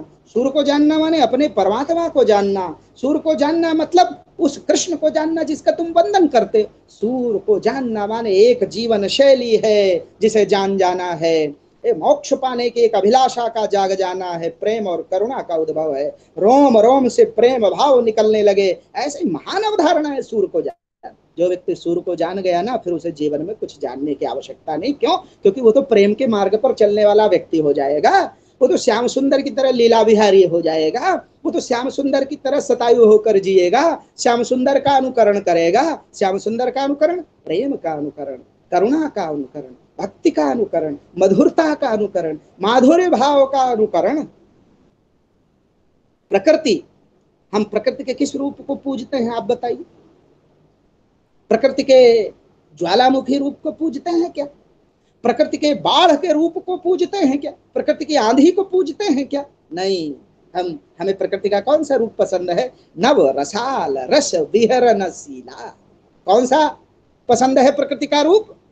नव रसाल रस विहरन शीला सोह ही कोकिल विपिन करीला। कानन सुधा वचन प्रतिपाली, जिये की लवण पयो मराली तुलसी की पंक्ति है, इस रूप को पूजते हैं भैया। हमें प्रकृति के ये रूप पसंद है, सूर्य ने इसी प्रकार की बात करी है। नवधा भक्ति के नव बिंदु हैं, उन अजस्र स्रोतों की तरफ़ आपका ध्यान ज़रूर ले जाना चाहता हूँ। और ध्यान देना चाहिए, ऐसे नव उद्भव बिंदु कौन से हैं? कहाँ से ये नवरस की धारा पैदा हुई है? कहाँ से श्रवणम, कीर्तनम, विष्णु स्मरणम, पाद सेवनम, अर्चनम, वंदनम, दास्यम, सख्यम आत्म निवेदनम की ये जो अजस्र धारा है, ये किन किन स्रोतों से निकली है? उन स्रोतों की बात ज़रूर आपसे करना। क्यों? क्योंकि ये स्रोत जानना अनिवार्य है। पहला स्रोत, श्रवण। सूर सागर में जो पहला स्रोत है, इस भक्ति का वो है, भगवान के नाम का श्रवण करना। तुम जिससे प्रेम करते हो, उसके नाम का श्रवण करना। तुम्हारे जीवन की जो योजना है, उस योजना का श्रवण करना। बार बार कान से सुनोगे तो कान ही तो रास्ता है विचारों के मन में जाने का। नए विचार कहाँ से आएँगे साहब? या तो आप देख कर जाए इन्हीं इंद्रियों से तो आएँगे। इंद्रियों में कान का महत्व तो क्या है? जीवन के नए नए नवोन्मेष शालिनी प्रतिभा, या तो मस्तिष्क में पैदा होती है, या कान के माध्यम से, जिसे निधिध्यासन कहते हैं। आप तो हिंदी के विद्यार्थी काव्य शास्त्र जानने वाले हैं। आप विद्वान कैसे बनते हैं, बताइए। राजशेखर का नाम सुना है ना? कौन है राजशेखर? क्या रास्ता बताया है इसने विद्वता का? श्रवण मनन निध्यासन रास्ता है। प्रतिभा अभ्यास का विषय है और अभ्यास श्रवण का विषय है, अभ्यास नेत्रों का विषय है। सूर कहते हैं, जो यह लीला सुनय सुनावे, सो हरि भक्ति पाई सुख पावे। ये पहला उद्भव। श्रवण भगवान की लीला जो सुनेगा, लीला का गान करेगा, वो वैधि भक्ति की पहली सीढ़ी पर खड़ा हो जाएगा। वो भक्ति की पहली सीढ़ी पर खड़ा हो जाएगा। नौ सीढ़ियाँ हैं। नौ सीढ़ी के उपरांत भगवान का आश्रम है, पहली मंजिल है। कैसे पहुंचोगे? कूद कर पहुँच जाओगे। नौ सीढ़ियाँ हैं चढ़ने को। अगर आप सीढ़ियों पे चढ़ के जाएँगे तो पहली मंजिल पहुँचेंगे। बहुत लोग होगा कि चलो साहब, लग्गी से चढ़ते हैं तो गिर जाएँगे अगर आप एक के बाद सीधे नौवीं सीढ़ी पर चढ़ेंगे, गिरेंगे कि नहीं? आप बताइए, अपने घर में प्रैक्टिस करके देखिएगा कि एक से नौवीं सीढ़ी अचानक कूदिए जरा। हाथ पैर टूट जाएँगे बेकार हो जाएँगे और आप किसी लायक नहीं बचेंगे बल्कि वो आदमी नौवीं सीढ़ी में पहुँच जाएगा जो पहली सीढ़ी चढ़ा दूसरी सीढ़ी चढ़ा तीसरी सीढ़ी चढ़ा चौड़ी चौथी सीढ़ी चढ़ा उसको वो, वो पहुँच जाएगा पहली मंजिल। और आप कूदेंगे अरे आप नौ सीढ़ी छोड़िए तीन तीन सीढ़ी कूद कर देखिए। मैं आपको शर्त लगाता हूँ आप अपने घरों में आज ये प्रैक्टिस कर लीजिएगा कि क्या आप दो तीन सीढ़ी इकट्ठे चढ़ सकते हैं क्या? सूर्य के पहली सीढ़ी पर खड़ा व्यक्ति की घोषणा जो यह लीला सुने सुना। दूसरी सीढ़ी क्या है? भगवान के नाम का कीर्तन। जो सुख हो तो गोपाल ही गाए। देखिए। हम सब बाथरूम सिंगर हैं कि नहीं, आप बताइए। क्यों गाते हैं? कभी सोचा? हम गीत क्यों गुनगुनाते हैं? क्योंकि गीत से हमारे मन का विकार निकल जाता है। ऐसे भगवान के नाम का कीर्तन क्यों करते हैं? क्योंकि इसी कीर्तन की सुरों पर बैठकर, इसी कीर्तन के अक्षरों पर बैठकर, इसी कीर्तन के शब्दों पर बैठकर काम, क्रोध, तृष्णा, लोभ और वासना जैसे विचार बाहर निकल जाते हैं शरीर से। इसलिए भगवान के नाम का कीर्तन करना क्यों? क्योंकि ये कीर्तन से जो तुम्हारे नाद, जो तुम्हारे मुँह से निकल रहा है, उस नाद पर, वह नाद अवशोषित करके जाता है। किन चीज़ों को अवशोषित कर लेता है? तृष्णा को, काम को, क्रोध को, लोभ को, वासना को। मित्र, तुम भगवान के नाम का कीर्तन करके देखना, तब मुझे बताना कि तुम्हारा मन इन चीज़ों से विरत हुआ कि नहीं। यह अनुभव का विषय है। कहता है, सूर, दूसरी सीढ़ी क्या है? जो सुख हो तो गोपाल ही गाए। सो सुख हो तन जप तप कीन्हे कोटिक तीरथ नहाए। जाके पूरे वृंदावन, मथुरा, काशी सब जगह जाके स्नान करते रहोगे तो भी वो आनंद नहीं मिलेगा। कौन सा आनंद? जो सूर ले रहा है। वीणा बजा रहा है। कौन सा आनंद? अंधे कवि सूरदास की वीणा की झंकार का आनंद, भगवान के नाम के कीर्तन का आनंद, ऐसा। ये दूसरी सीढ़ी है। नौ सीढ़ियाँ हैं। संक्षेप में बताता हूँ। तीसरी सीढ़ी है। भगवान के नाम का स्मरण करना श्रवण करना, कीर्तन माने बार बार उच्चारण करना और फिर केवल मुँह नहीं लगा रहे। बहुत लोग हैं, सूर कहते हैं कि भैया सावधान हो जाओ। बहुत लोग हैं, मुँह से भगवान का भजन करते रहेंगे। राम राम राम राम राम राम राम राम, और अवसर पाएगा तो छुरी निकाल के बगल वाले को सटा देंगे। इसी को कहते हैं मुँह में, राम बगल में छुरी। सूर कहता है ये छुरी वाला रास्ता नहीं। क्यों? क्योंकि जब केवल मुँह से राम राम कहोगे, मुँह से कृष्ण कृष्ण कहोगे तो मौका पाए हुए तो छुरी किसी को भोग दोगे। इसलिए तीसरी सीढ़ी कौन सी है? स्मरण की सीढ़ी है। भगवान कृष्ण को प्राप्त करने की तीसरी सीढ़ी स्मरण की सीढ़ी सूरदास पारस के पर से मिट ही लोह की खेत, शरण गए प्रभु काढ़ दे मैं और शीघ्रता से इस विषय को, ये ये दरअसल ऐसा विषय है जो हमारे जीवन के लिए भी उपयोगी है। ऐसा चौथा, चौथी सीढ़ी, सीढ़ियों का नामोल्लेख करते हुए हम विषय के, विषय की तरफ़, विषय की खत्म करने की तरफ़ आगे बढ़ते हैं। चौथी सीढ़ी है पाद सेवन, पांचवी सीढ़ी है अर्चना भगवान की। अति विचित्र रचना रचि राखी, परति न गिरा बनी हरिजू की आरती बनी। ऐसे ही वंदन है अगली सीढ़ी। पहला पद आपने पढ़ा ना? पहला पद क्या है? चरण कमल बंदो हरिराई वंदन अगली अगली सीढ़ी। जिन दो, अब देखिए। हम किन सीढ़ियों पर हैं? सूर्य ने बिल्कुल साफ़ साफ़ बता दिया। सूर्य ने कहा, पहली सीढ़ी कौन है? भगवान के नाम का श्रवण करना, हम इस सीढ़ी पर चढ़ जाते हैं। दूसरी सीढ़ी कौन है? कीर्तन करना, तीसरी सीढ़ी कौन है? स्मरण करना, चौथी सीढ़ी कौन है? भगवान के चरणों की सेवा करना, पांचवी सीढ़ी कौन है? अर्चन करना, छठवीं सीढ़ी कौन है? वंदन करना। पाँच सीढ़ी के, सूरदास ये पाँच सीढ़ियाँ पहले ही चढ़ चुके थे जब वो लिखने बैठे। इसलिए उन्होंने छठवीं सीढ़ी से सूर सागर प्रारंभ किया। आप देखिए। कौन सी छठवीं छठवीं सीढ़ी कौन सी है? वंदना। यहीं से शुरू किया चरण कमल बंदो हरिराई। जाकी कृपा पंगु गिरी लंघे अंधे को, सब कुछ दर्शाई। सूरदास स्वामी करुणामय, बार बार बंदो पाई। यहाँ से शुरू करता है। और फिर सातवीं, आठवीं सीढ़ियाँ कौन है? यहाँ बैठा रहता है सूर। और यहीं बैठकर पूरे सूर सागर की रचना करना कौन सी है? सातवीं, आठवीं, नौवीं सीढ़ियाँ? सातवीं सीढ़ी, दास्य सीढ़ी, दास्य भाव की भक्ति की सीढ़ी है। मैं सेवक हूँ, भगवान का दास हूँ, ऐसा मानने वाली सीढ़ी। आठवीं सीढ़ी कौन सी है? सखा भाव की भक्ति की सीढ़ी है।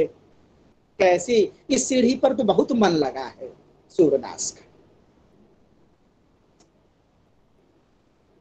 वृंदावन में ग्वाल बाल सब खेल रहे हैं। तो दोस्तों में टकरार होती है। सुर कैसा आनंद से वर्णन करता है? कहता है, खेलन में को काको को संज्ञा हरिहारे जीते श्री दामा ले लीजिए। बाहर वृंदावन में जंगल में गए हैं, सब ग्वाल बाल और श्याम सुंदर। तो वहाँ आम तोड़ रहे हैं, बेर तोड़ रहे हैं, फल सब सामूहिक तोड़ते हैं, फिर एक जगह रख के और फिर ये होता है कि खाइए। तो कौन बढ़िया तेज खाएगा? जो तेज खाएगा वो जीत जाएगा। हम अमरूद रख दें और एक आदमी, सब एक एक ये कहा कि पेट भर खा लो तो जिसकी गति तेज होगी, वही तो ज़्यादा खाएगा। श्याम सुंदर की गति बड़ी तेज है, सूरदास ने कहा। कहा जेवत छाक गाय बिसराई, सखत, सखा श्रीदामा, कहा सबन सो, छाकई में तुम रहे भुलाई। भैया, तुम खाने में सबको भूल जाते हो, दूसरों का भी ध्यान दिया करो। ल्याए ग्वाल घेरी गो गो सुतो, देख श्याम तन हरस बढ़ाई। ये आठवीं सीढ़ी है और नौवीं सीढ़ी सबसे महत्वपूर्ण सीढ़ी है, जिसके बाद कुछ बचता नहीं है। ये सीढ़ी आत्मनिवेदन की सीढ़ी है। फिर अपनी करुणा बाहर छलकने लगती है। सूर में स्थान स्थान पर ये करुणा छलकती दिखी है। बार बार आत्मनिवेदन की बात सूर ने कही है। ये ये नौ सीढ़ियाँ हैं सूर के यहाँ। और ये सूर सागर इन्हीं सीढ़ियों पर चलकर सूर सागर अपनी परिणति को प्राप्त होता है। सूर सागर अपने अर्थ को प्राप्त होता है। लेकिन इन, अब ये तो सीढ़ियाँ हैं, सोपान है, लेकिन सूर सागर में, मध्य में अनेक ऐसे प्रसंग भी हैं जो भक्ति के इन अर्थों को तो स्पष्ट करते हैं, लेकिन अवान्तर कथा है। एक ऐसी ही कथा है भ्रमर गीत की कथा। एक ऐसा ही रचना विषय है भ्रमर गीत का रचना विषय। थोड़ी सी उसकी भी चर्चा, चूँकि दो बातों की चर्चा आपके साथ करनी थी तो बहुत थोड़ी सी चर्चा उसकी कर। भ्रमर गीत के पहले वात्सल्य का वर्णन किया है सूरदास आँगन श्याम न चावही, जशुमति नंद रानी तारी दई दय गावही, मधुरी मृदु बानी यशोदा कृष्ण के साथ आँगन में खेलती। आँगन श्याम नचावही आँगन में श्याम को नचा रही है। जसुमति नंद रानी तारी दई दई गाँव ही ताली दे देकर खेल रही है। मधुरी मृदुबानी गीत गा रही है, ऐसा वात्सल्य का चित्रण पहले। फिर अक्रूर जी महाराज आ जाते हैं वृंदावन से और श्याम सुंदर को मांग कर लेकर, साथ लेकर चले जाते हैं। तो फिर इसका चित्र खींचा है और इस चित्र में पीड़ा है, दुख है, वियोग है। संदेशो देव की सो कहियो हाँ तो धाय तिहारे, सुत की दया करती ही रही वही यशोदा जो ताली दे दे के कृष्ण को नचाती थी, अब रोती है। क्या कह रही है? संदेशो देव की वो भी संदेशा भेजती है भ्रमर गीत की तरह। संदेशो देव की सो कहियो, हों तो धाय तिहारे, सुत की साहब नौकरानी थी मैं। श्याम सुंदर को नौकरानी की तरह फाला लेकिन मेरे ऊपर भी दया बनाए रखेगी देव की संदेशो देव की सो कहियो दया करत ही रहियो। मेरक, मेरो अलग लड़ाई तो मोहन वही है करत संदो संकोच।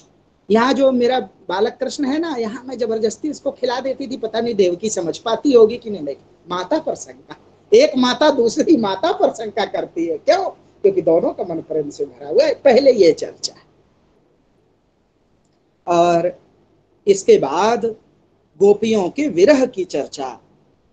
सूर ने की है। ये तीन चर्चाएँ पृष्ठभूमि है भ्रमर गीत और इसके बाद भ्रमर गीत का संदर्भ सूर ने दिया है।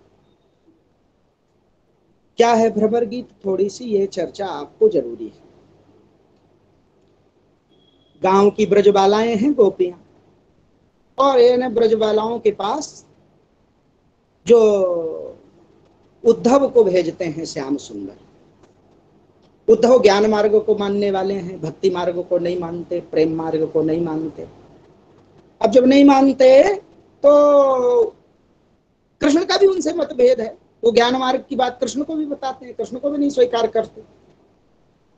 उन्हें ठीक भी करना था, और गोपियों की स्मृति भी करनी थी। इस नाते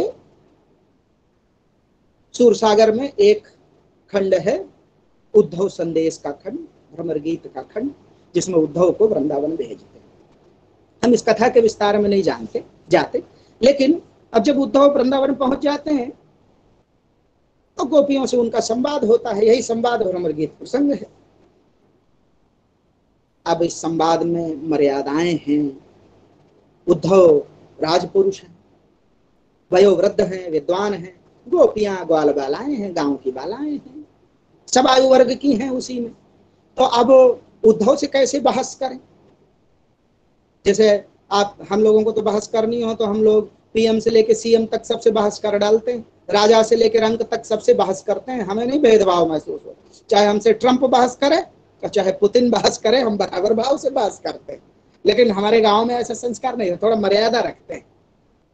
उतवाए हैं, गोपियाँ सीधे नहीं बहस करती, बल्कि संवाद के समय ही एक भ्रमर उड़ता हुआ आता है।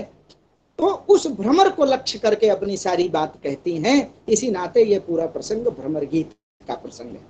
और ये कोई नई बात नहीं है।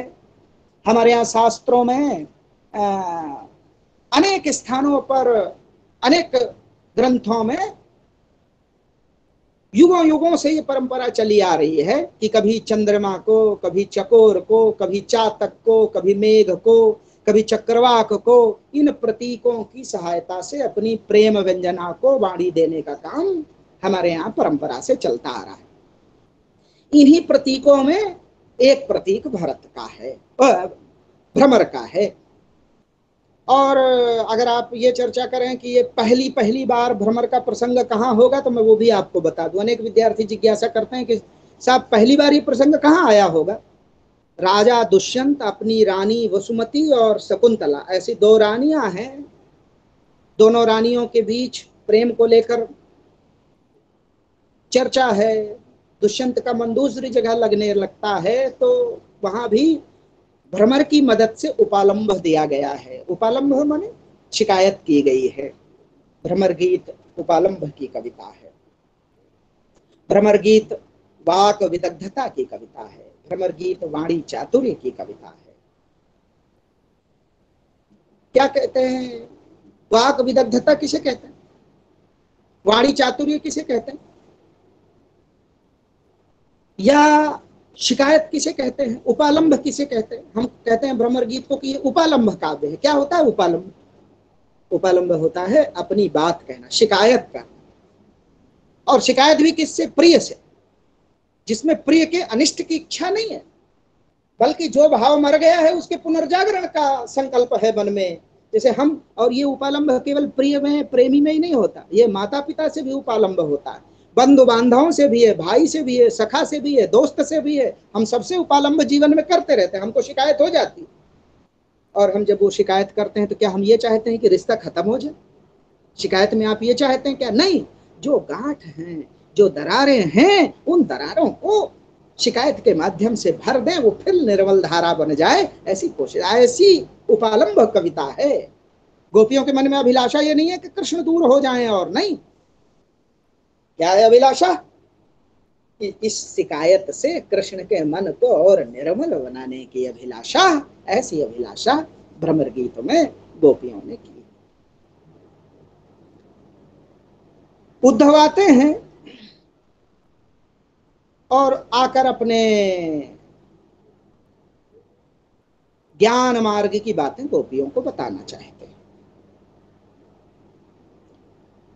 गोपियाँ पहले सुनती हैं और सुनने के बाद गोपियाँ प्रत्युत्तर देती हैं।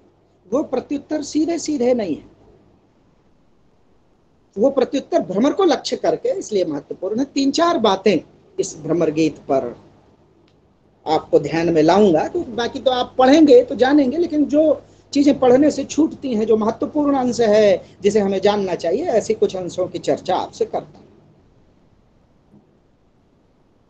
उद्धव आए हैं, अब उद्धव आ गए, और क्या संकल्प लेकर आए हैं मन में कि जाके और गोपियों के मन को बदल देना है? गोपियों को ज्ञान मार्ग में प्रवृत्त कर देना है। ऐसे अहंकार के साथ उद्धव वृंदावन पहुँचता है।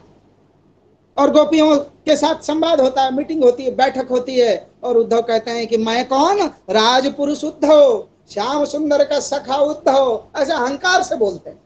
और मैं यहाँ क्यों आया हूँ? तुम लोगों से बात विवाद करने आया हूँ। मुझे श्याम सुंदर ने संदेश देने भेजा है, तुम्हारा कुशल क्षेम लेने भेजा है। क्योंकि उस समय कुशल क्षेम का तो भैया यही रास्ता था ना। फ़ोन थोड़ो था कि गोपियाँ फ़ोन कर लेती श्याम सुंदर को। ऐसा नहीं था। चिट्ठी पत्री का भी कम ही प्रचलन था, ऐसे संदेश वाहक होते थे। अभी भी हमारे गाँव में परंपरा है। हमारे गाँव में कोई उत्सव होता है।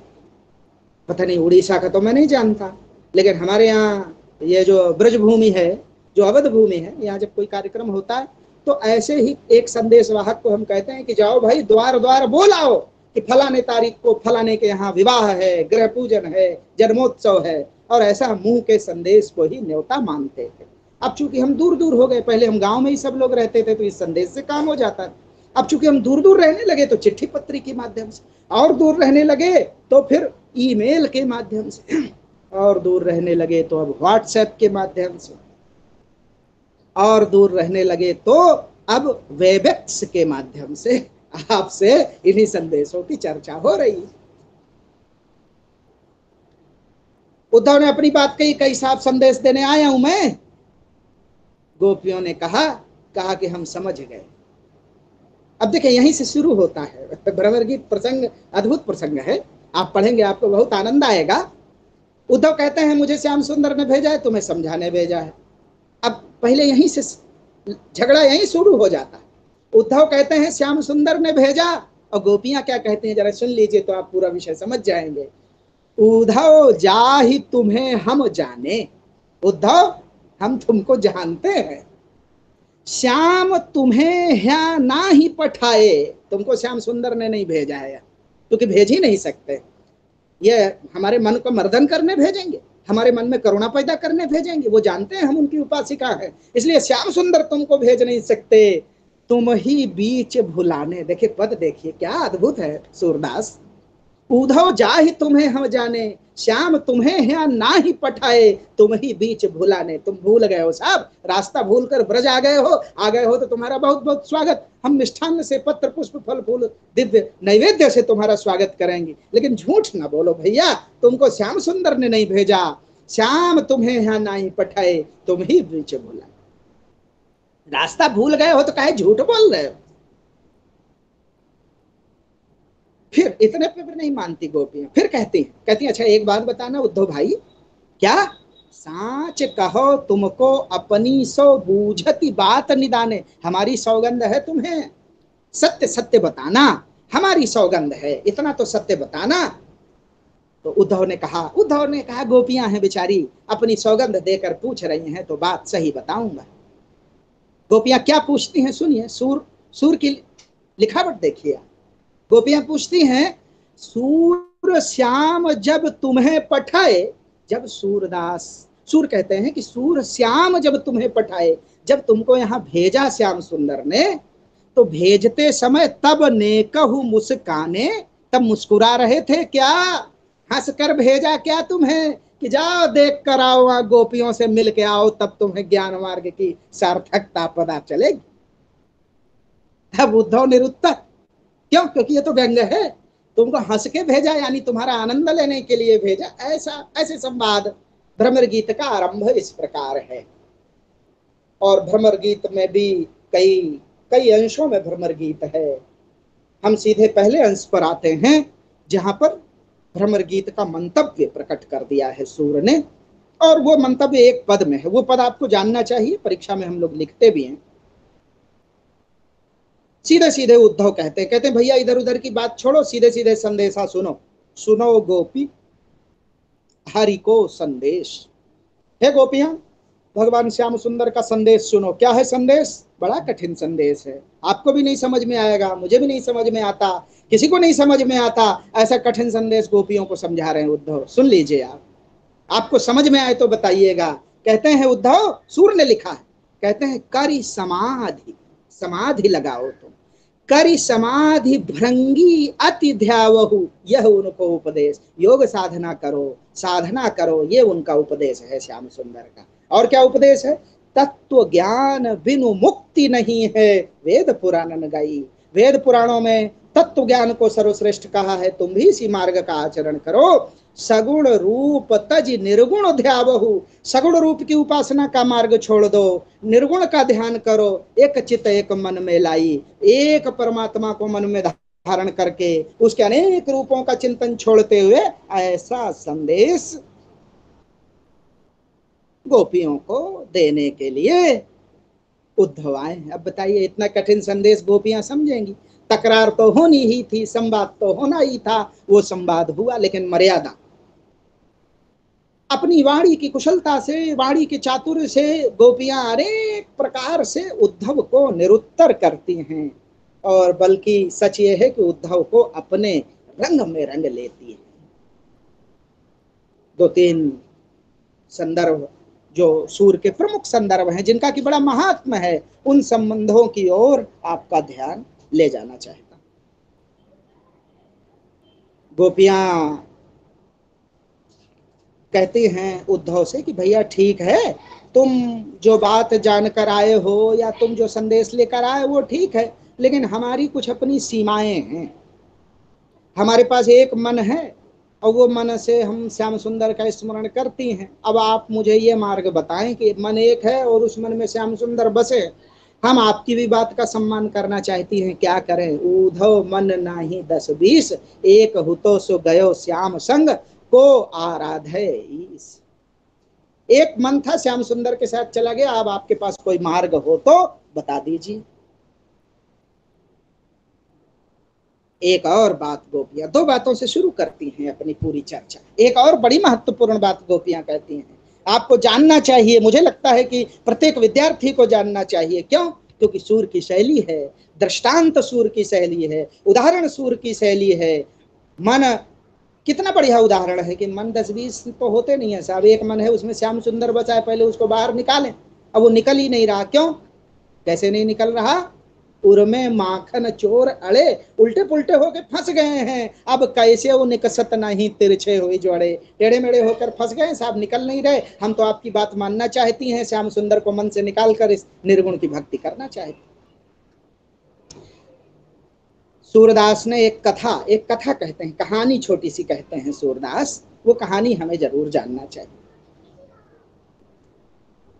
एक नदी है, हम सुरमा गौघाट में सुनाते थे लोग। एक नदी है, उसमें छिछला जल बह रहा है। कम पानी है नदी में, और नदी अजस्र धारा नदी की बह रही है।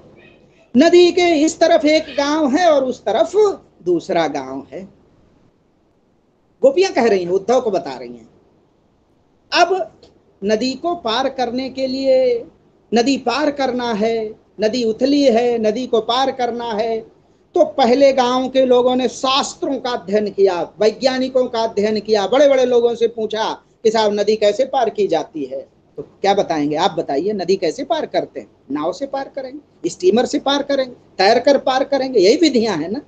सबने एक सुर से बताया कि नदी कैसे पार करेंगे, तैर कर पार करेंगे, नाव से पार करेंगे। क्यों? क्योंकि यही ज्ञान मार्ग है। आप अमेरिका तक के बड़े बड़े ज्ञानियों से पूछ आइए तो नदी पार करने का यही मार्ग है। पुल बना के पार करेंगे। लेकिन जल को पार करने के यही उपाय हैं। सामान्य उपाय, पुल बनाना तो कठिन है तो सामान्य उपाय नाव को पार करना है। अब गोपियाँ उद्धव से कहती हैं, कहते हैं कि तुम्हारा ये जो योग और शास्त्र का मार्ग है ना, ये कहता है कि नाव से पार करना नदी को, तैर कर पार करना नदी को और हम गोपियों के सामने एक संकट है। क्योंकि हमारी ये जो नदी है, जिसे हमें जो हमारे गाँव और दूसरे गाँव के बीच ये नदी है, इस नदी में जल बहुत छिछला है। था ही है नदिया, था ही है, कम जल है। और ये कम जल पैदल पार किया जा सकता है। देखिए गोपियों की चतुराई। कहती हैं गोपियाँ कि ये नदी पैदल चलकर पार की जा सकती है। उधव हम ही सीख कह दियो। हरिबुन अनत न ठावरे, सूरदास कहा लय कीजे।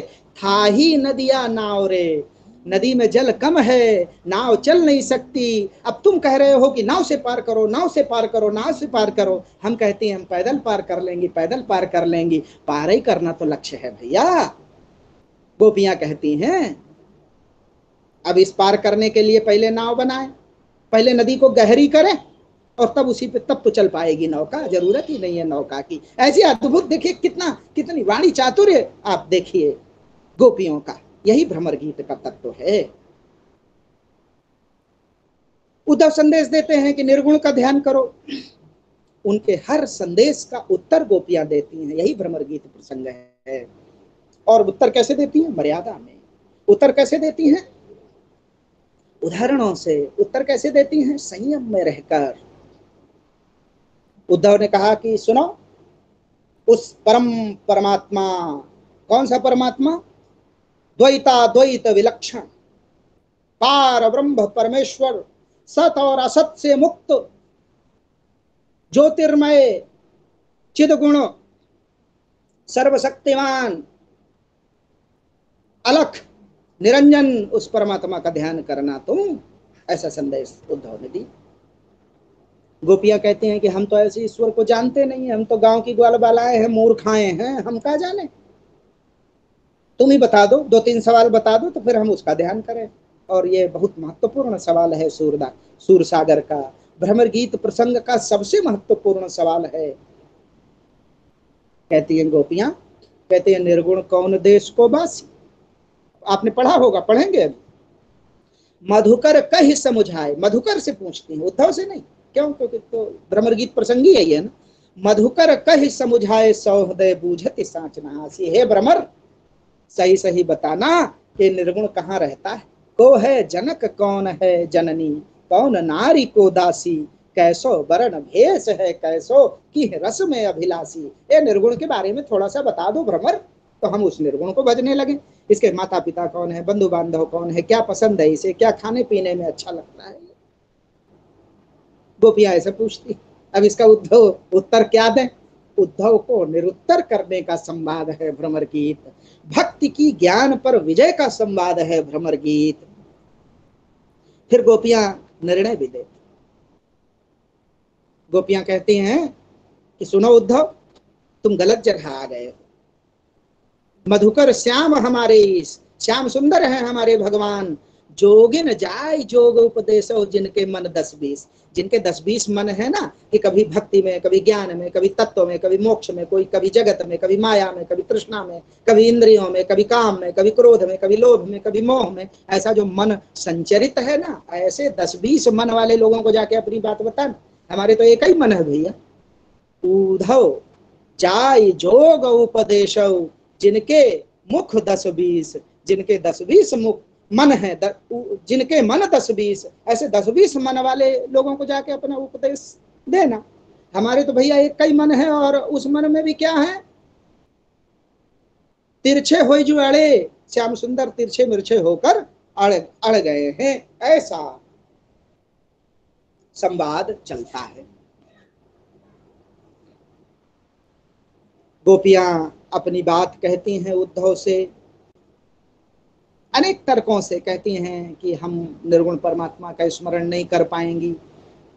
उद्धव कहते हैं कि नहीं नहीं, ये तो करना ही है तो स्वयं श्याम सुंदर ने कहा है। गोपिया कहती हैं कि हमारी अपनी व्यवस्थाएँ हैं, हमारी अपनी मजबूरियाँ हैं। उद्धव पूछ लेता है कि भैया, कौन सी तुम्हारी ऐसी मजबूरी है? उत्तर देखिए गोपियों का, लरिकाई को प्रेम कहो वाली कैसे छूटे? हे भ्रमर! बचपन का प्रेम कैसे छूटे? कहा कहो ब्रजनाथ, चरित अंतर्गत ही लूटे। क्या बताएँ, भगवान श्याम सुंदर का चरित्र मन में बसा हुआ है। क्या क्या मन में बसा है? ये भी बताती हैं वो अब बताइए उद्धव, क्या करे बेचारा? कहते हैं, गोपियाँ, वह चितवन, वह चाल मनोहर। हमारी मजबूरी समझ लो उद्धव। हे भ्रमर, हमारी मजबूरी समझ लो। हमको वो चितवन अच्छी लगती है, जो श्याम सुंदर के नेत्रों।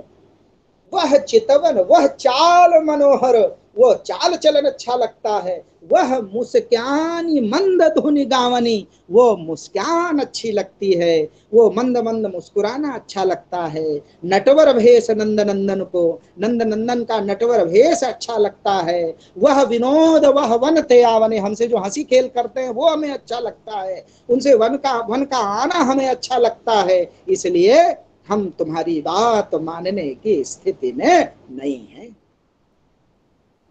हमारी भक्ति का जो स्रोत है, वो आँखों से होकर हमारे मन तक जाता है। तुम्हारी भक्ति कानों से होकर तुम्हारे मन तक जा रही है। और हमारी भक्ति नेत्रों से होकर दोनों इंद्रियाँ हैं। तय करो तुम महत्वपूर्ण कौन है। कान महत्वपूर्ण है कि आँख महत्वपूर्ण है? हे उद्धव, तुम जिस ज्ञान की बात कर रहे हो, ये ज्ञान श्रवण इंद्रिय के माध्यम से आत्मा तक जाने का मार्ग है। इससे प्रबल इंद्रिय हमारी भक्ति के मार्ग में सक्रिय है और यह प्रबल इंद्रिय हमारी नेत्र है। अखियाँ हरि दर्शन को भूखी कैसे रात रूप रस राची? ये बतियाँ सुन रूखी। तुम्हारी ये रूखी बातें, तुम्हारी ये कान के मार्ग से होकर जाने वाली, श्रवण के मार्ग से होकर जाने वाली, इन बातों पे हमारा पेट नहीं भरने वाला, हमारा मन नहीं मानने वाला, हम हम नेत्रों से भक्ति का भाव आस्वाद लेने वाली हैं। एक प्रार्थना है तुमसे, उद्धव। कौन सी प्रार्थना है? बारक वह मुख यान दिखावो जे दुह पिबत पतु हमको ये ज्ञान की शिक्षा नहीं दो, बल्कि भगवान श्याम सुंदर का वो मुख ला के दिखा दो, जिससे वो दोना बनाकर जिसमें गायों को धोकर दूध पीते। फिर गोपियाँ कहती हैं, देखिए, कैसा कैसा तर्क है। गोपियाँ कहती हैं, सूर सुकति हठ नाव चला गोपियाँ कहती हैं, अभी अभी हमने उदाहरण दिया तुम्हें, लेकिन तुम हठ पूर्वक नाव चला रहे हो। किस नाव, किस नदी में जो सरिता है, सूखी, जिसमें पनिया नहीं है, पानी इतना कम है कि पैदल पार कर सकते हैं। तुम वहाँ ज़बरदस्ती नाव चला रहे हो। सुनो उद्धव तुम नाव में बैठकर एक ही स्थान पर बैठे रह जाओगे और हम पैदल चलकर नदी पार कर लेंगी। तुम पार नहीं कर पाओगे। अगर नदी पार करना ही लक्ष्य है तो तुम अपनी नाव में बैठे बैठे जीवन बीत जाएगा तुम्हारा, क्योंकि सरिता में जल कम है, नाव बहेगी नहीं। तुम सिद्धांत को लेकर जीते रहो। हम व्यवहार को लेकर जीती हैं। हम पैदल चलकर ये नौका, बिना नौका के नदी पार करके श्याम सुंदर के अंतरंग हो जाएँगे। भक्ति मार्ग का चरम प्राप्त कर लेंगी। ऐसा ऐसी गोपियों की विजय की बात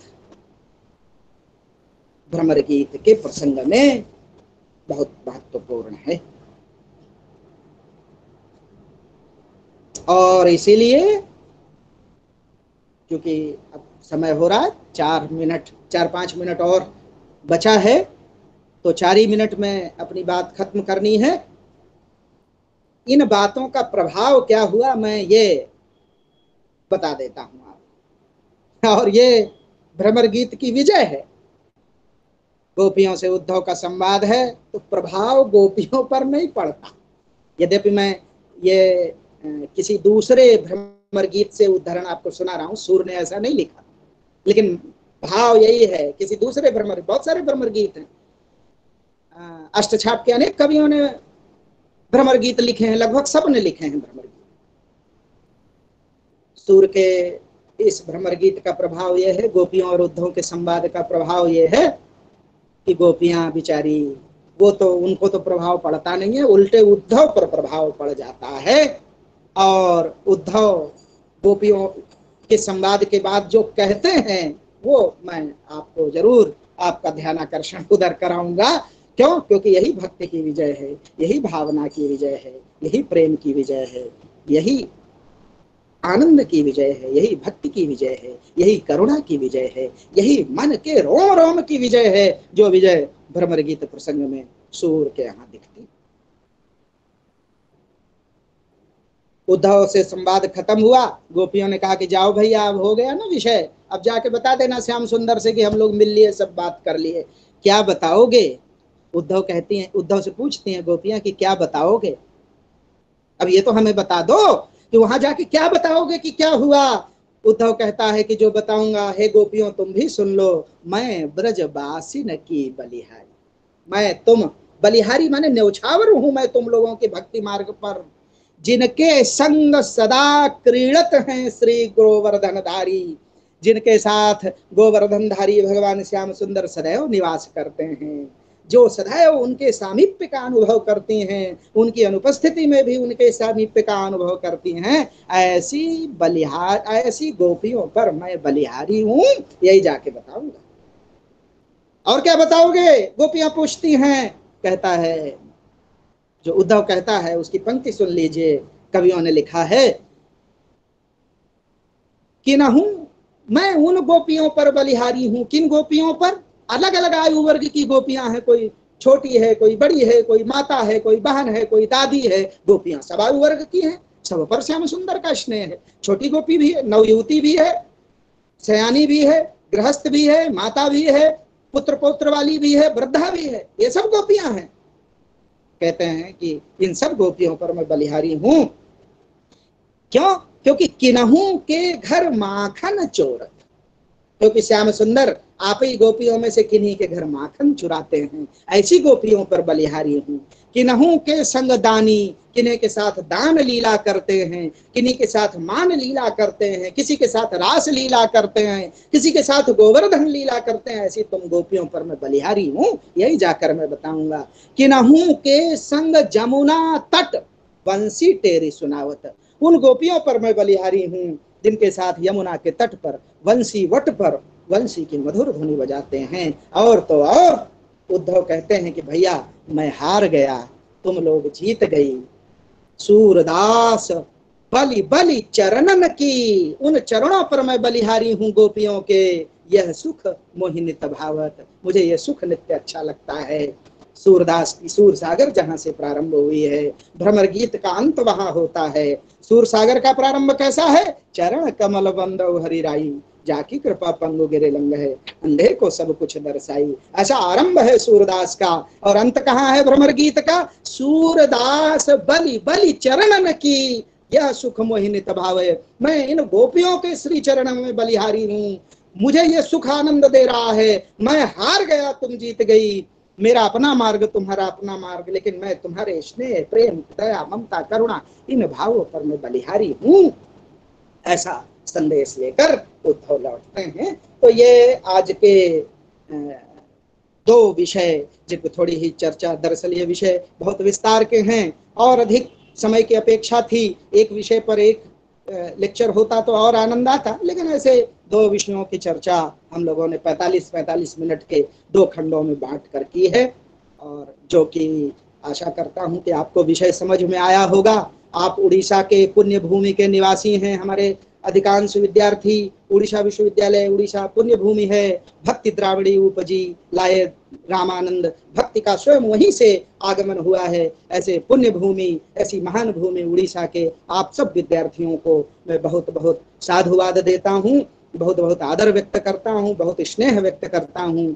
भगवान कृष्ण की कथा आपके मन में बसे श्याम सुंदर आपके मन में बसे सूरदास आपके मन का विषय हो जाए परीक्षा का विषय तो बनता ही है परीक्षा का विषय बने मन का विषय बने आत्मा का विषय बने रोम रोम का विषय बने इस शुभकामना और मंगल कामना के साथ मैं हमारे मॉडरेटर अभिषेक जी अगर अपने जी, साथ जी, जी, सर, मैं आपको तो बिल्कुल ठीक साढ़े बारह बजा है, हम अपनी चर्चा को यहीं पर विराम देते हैं ताकि कोई और कक्षा होगी। सबका, अभिषेक जी का, हमारे जो टेक्नीशियन महोदय हैं, उनका, उड़ीसा राज्य विश्वविद्यालय का, और ऐसे सभी बंधुओं, मित्रों, हमारे जो विद्यार्थी हैं, आप सबका बहुत बहुत साधुवाद। मेरे साथ कृष्ण कथा का आनंद लिया आपने। इसे मैं कथा ही कहता हूँ, क्योंकि सूरदास तो कथा के कवि हैं, इसलिए शैली भी वही हो गई होगी। आप सब कृष्ण कथा का आस्वाद आपने लिया है।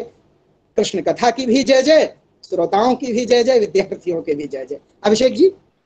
जी सर बहुत बहुत धन्यवाद सर। आपको सुनना आ, सही बात कहूँ तो हमेशा बहुत सुख मिलता है आपको सुनने बहुत अच्छा लगता है। और आपको सुनना मुझे भी नहीं सिर्फ़ और सिर्फ़ अकेले मुझे ही नहीं विद्यार्थियों को बड़ा आनंद आता है। इस वजह से प्रश्न बहुत सारे आ गए हैं विद्यार्थियों ने। लगातार प्रश्न पूछे हैं तो मैं वहीं से समय जाया ना करते हुए विद्यार्थियों को प्रश्न पहले आपके समक्ष रखता हूँ, उसके उपरांत हम उस पर चर्चा करेंगे। तो कुछ विद्यार्थियों ने जो प्रश्न पूछे मैं आपके समक्ष रखता हूँ रखने का प्रयास कर रहा हूँ। शुरुआत में करता हूँ, एक विद्यार्थी दीपा जी एक हमारी विद्यार्थी है, वो पूछती है कि प्रेम और भक्ति एक है या अलग है? ये तो कितनी बड़ी, बहुत उम्दा सवाल पूछा है, क्या नाम है? सर दीपा नाम है उनका, दीपा दीपा जी, आपने बहुत महत्वपूर्ण सवाल पूछा है। प्रेम और भक्ति में कोई अंतर नहीं है। इन दोनों का स्थायी भाव रति है। यही रति जब लोक की तरफ़ उन्मुख हो गई तो प्रेम है, श्रृंगार है, और यही भगवान की तरफ़ अगर यही रति भाव उन्मुख हो गया तो फिर वही भक्ति है। भक्ति और प्रेम के मूल भाव में, स्थायी भाव में कोई अंतर नहीं है। एक ही रति भाव मन में होता है। परमात्मा से रति अगर हो जाए किसी को तो भक्ति। और अगर विषय वासनाओं से रति हो जाए, श्रृंगार से रति हो जाए, लोक से रति हो जाए तो श्रृंगार कोई अंतर नहीं है। बस इतना ही अंतर है। एक लोक प्रभावी है और दूसरी लोकोत्तर। हाँ अभिषेक जी। जी सर जी सर धन्यवाद सर। संक्षेप जल...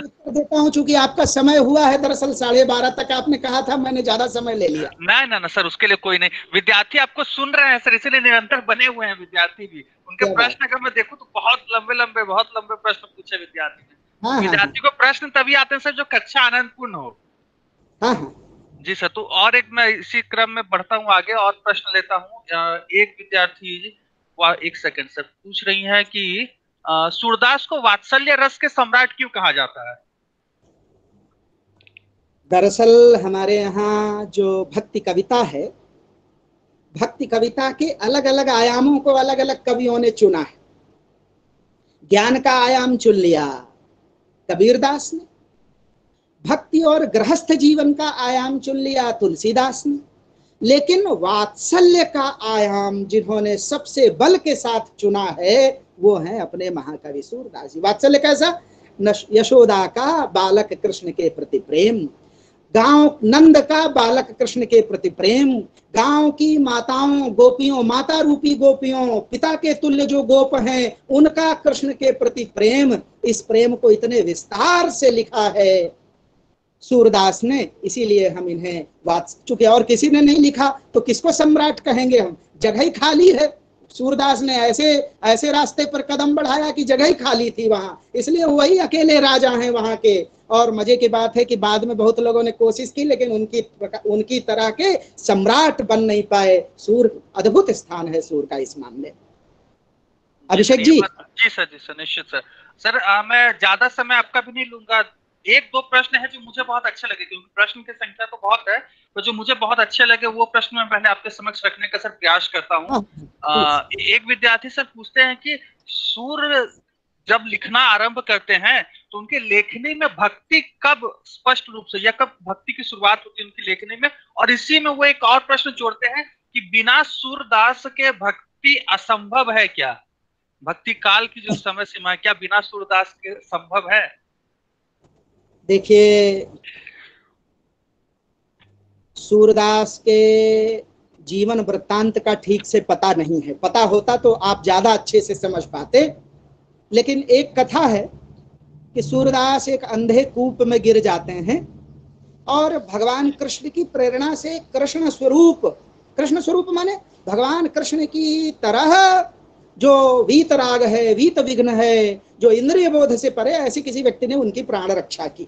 अब जब यह प्राण बच, बच गए तब सूर को समझ में आया कि साहब जिस गाँव में रहते थे कुएँ में आठ दिन पड़ा रहा चिल्लाते चिल्लाते मर गया कोई नहीं काम आया तो ये जो व्यक्ति काम आया है उसके प्रति उन्हें अनुराग हुआ और ऐसे उदार चरित्र वाले ऐसे कृपा करने वाले भगवान श्याम सुंदर की भक्ति का उन्होंने पहले ही दिन से गायन प्रारंभ किया। अब मज़े की बात यह थी कि अद्भुत प्रतिभा थी।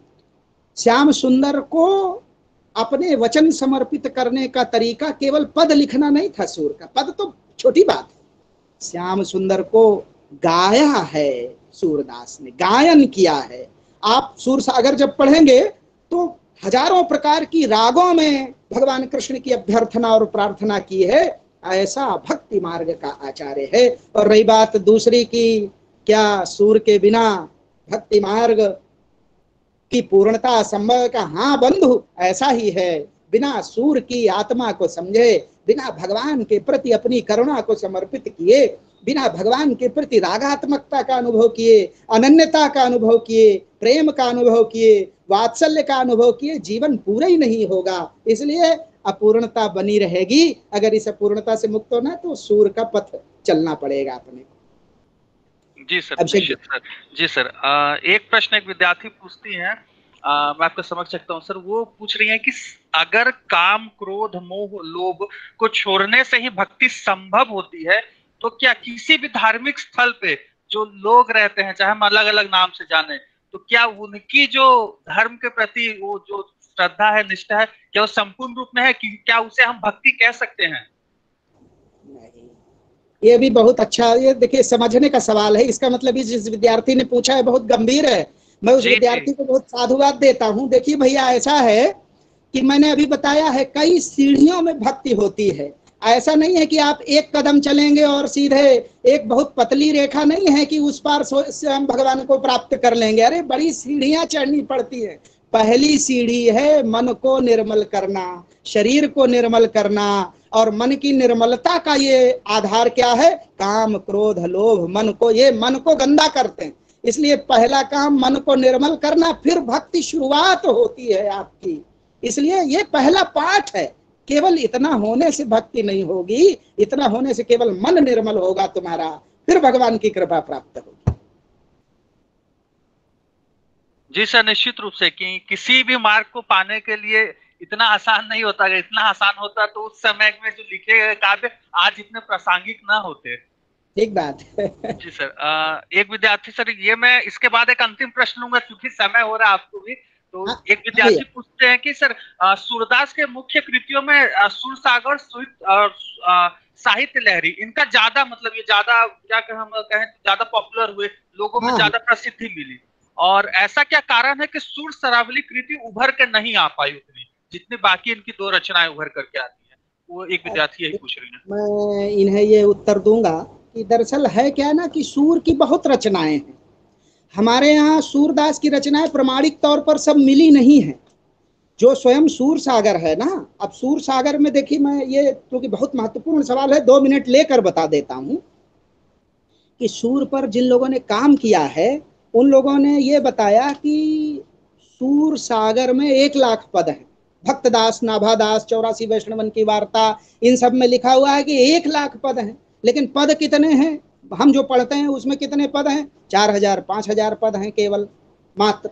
ऐसे ही सूर की रचनाएँ सभी प्रमाणिक नहीं मिली, संकलन हुआ है। एक लाख बल्कि जब ये ग्रियर्सन काम कर रहे थे तो ग्रियर्सन ने जिसे प्रमाणिक माना, कहा कि साठ हज़ार पद हैं सूर में।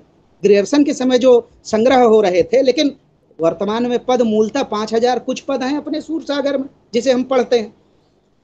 यही कारण था कि सूर सागर, सूर सारावली या साहित्य लहरी ये प्रमाणिक तौर पर पूरी तरह उपलब्ध नहीं हो पाई। संचय संग्रहण हुए हैं। अब ये बताइए कि हम किस रचना में हमारा आनंद लगेगा?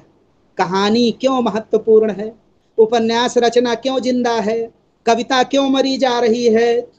हमें होता यह है कि मन को आकर्षित करने वाली जो रचनाएँ होती हैं, उनकी तरफ़ सामान्य व्यक्ति का भी मन लगता है और हम लोग यूनिवर्सिटी का कोर्स बनाने वाले लोग।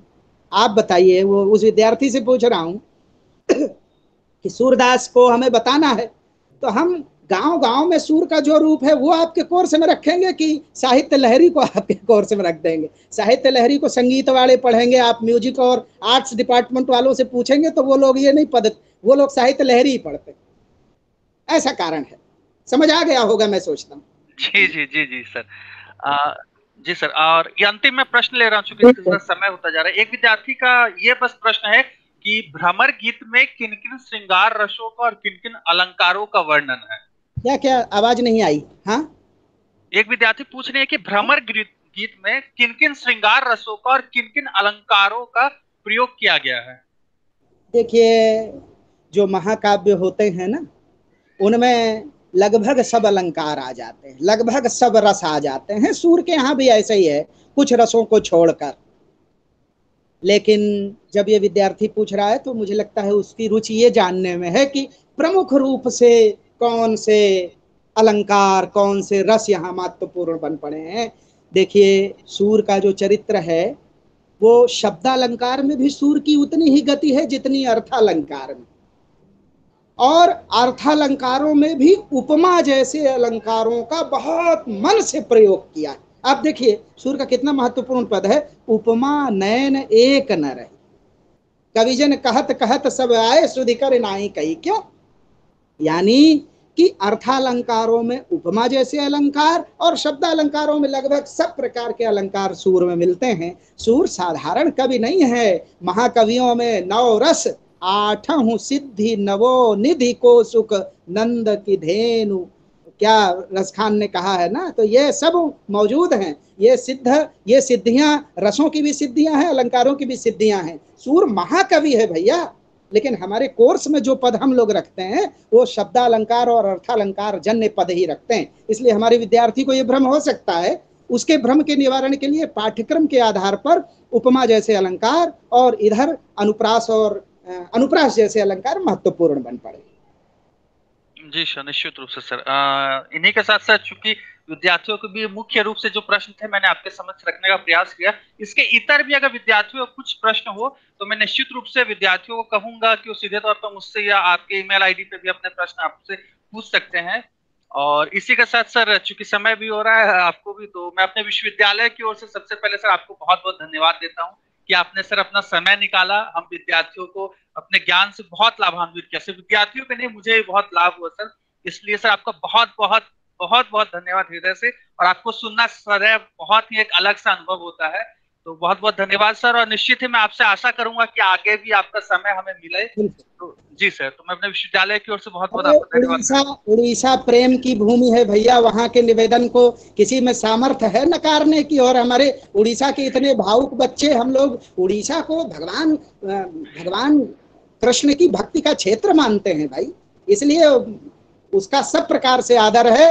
और सब प्रकार से समस्त निवेदन स्वीकार है ऐसा कहना। Debashish sir kindly mute some someone just unmuted his mic जी सर सर बहुत बहुत सर धन्यवाद सर राजेश सर और पुनः हम सर नए विषय के साथ जल्द ही मिलेंगे इस शुभकामना के साथ सर आपका धन्यवाद। आप चाहे तो सर अपने उधर से अपने कॉल को एंड कर सकते हैं। क्या कह रहे हैं? सर कह रहा हूँ आज की कक्षा सर यही समाप्त होती है। हाँ। आप चाहे तो अपनी ओर से सर उस कक्षा सर अपने फ़ोन से लॉग आउट हो सकते हैं। इस कक्षा अच्छा ठीक। आप आप वहाँ से आप आप लॉग आउट कर दीजिए वहाँ से।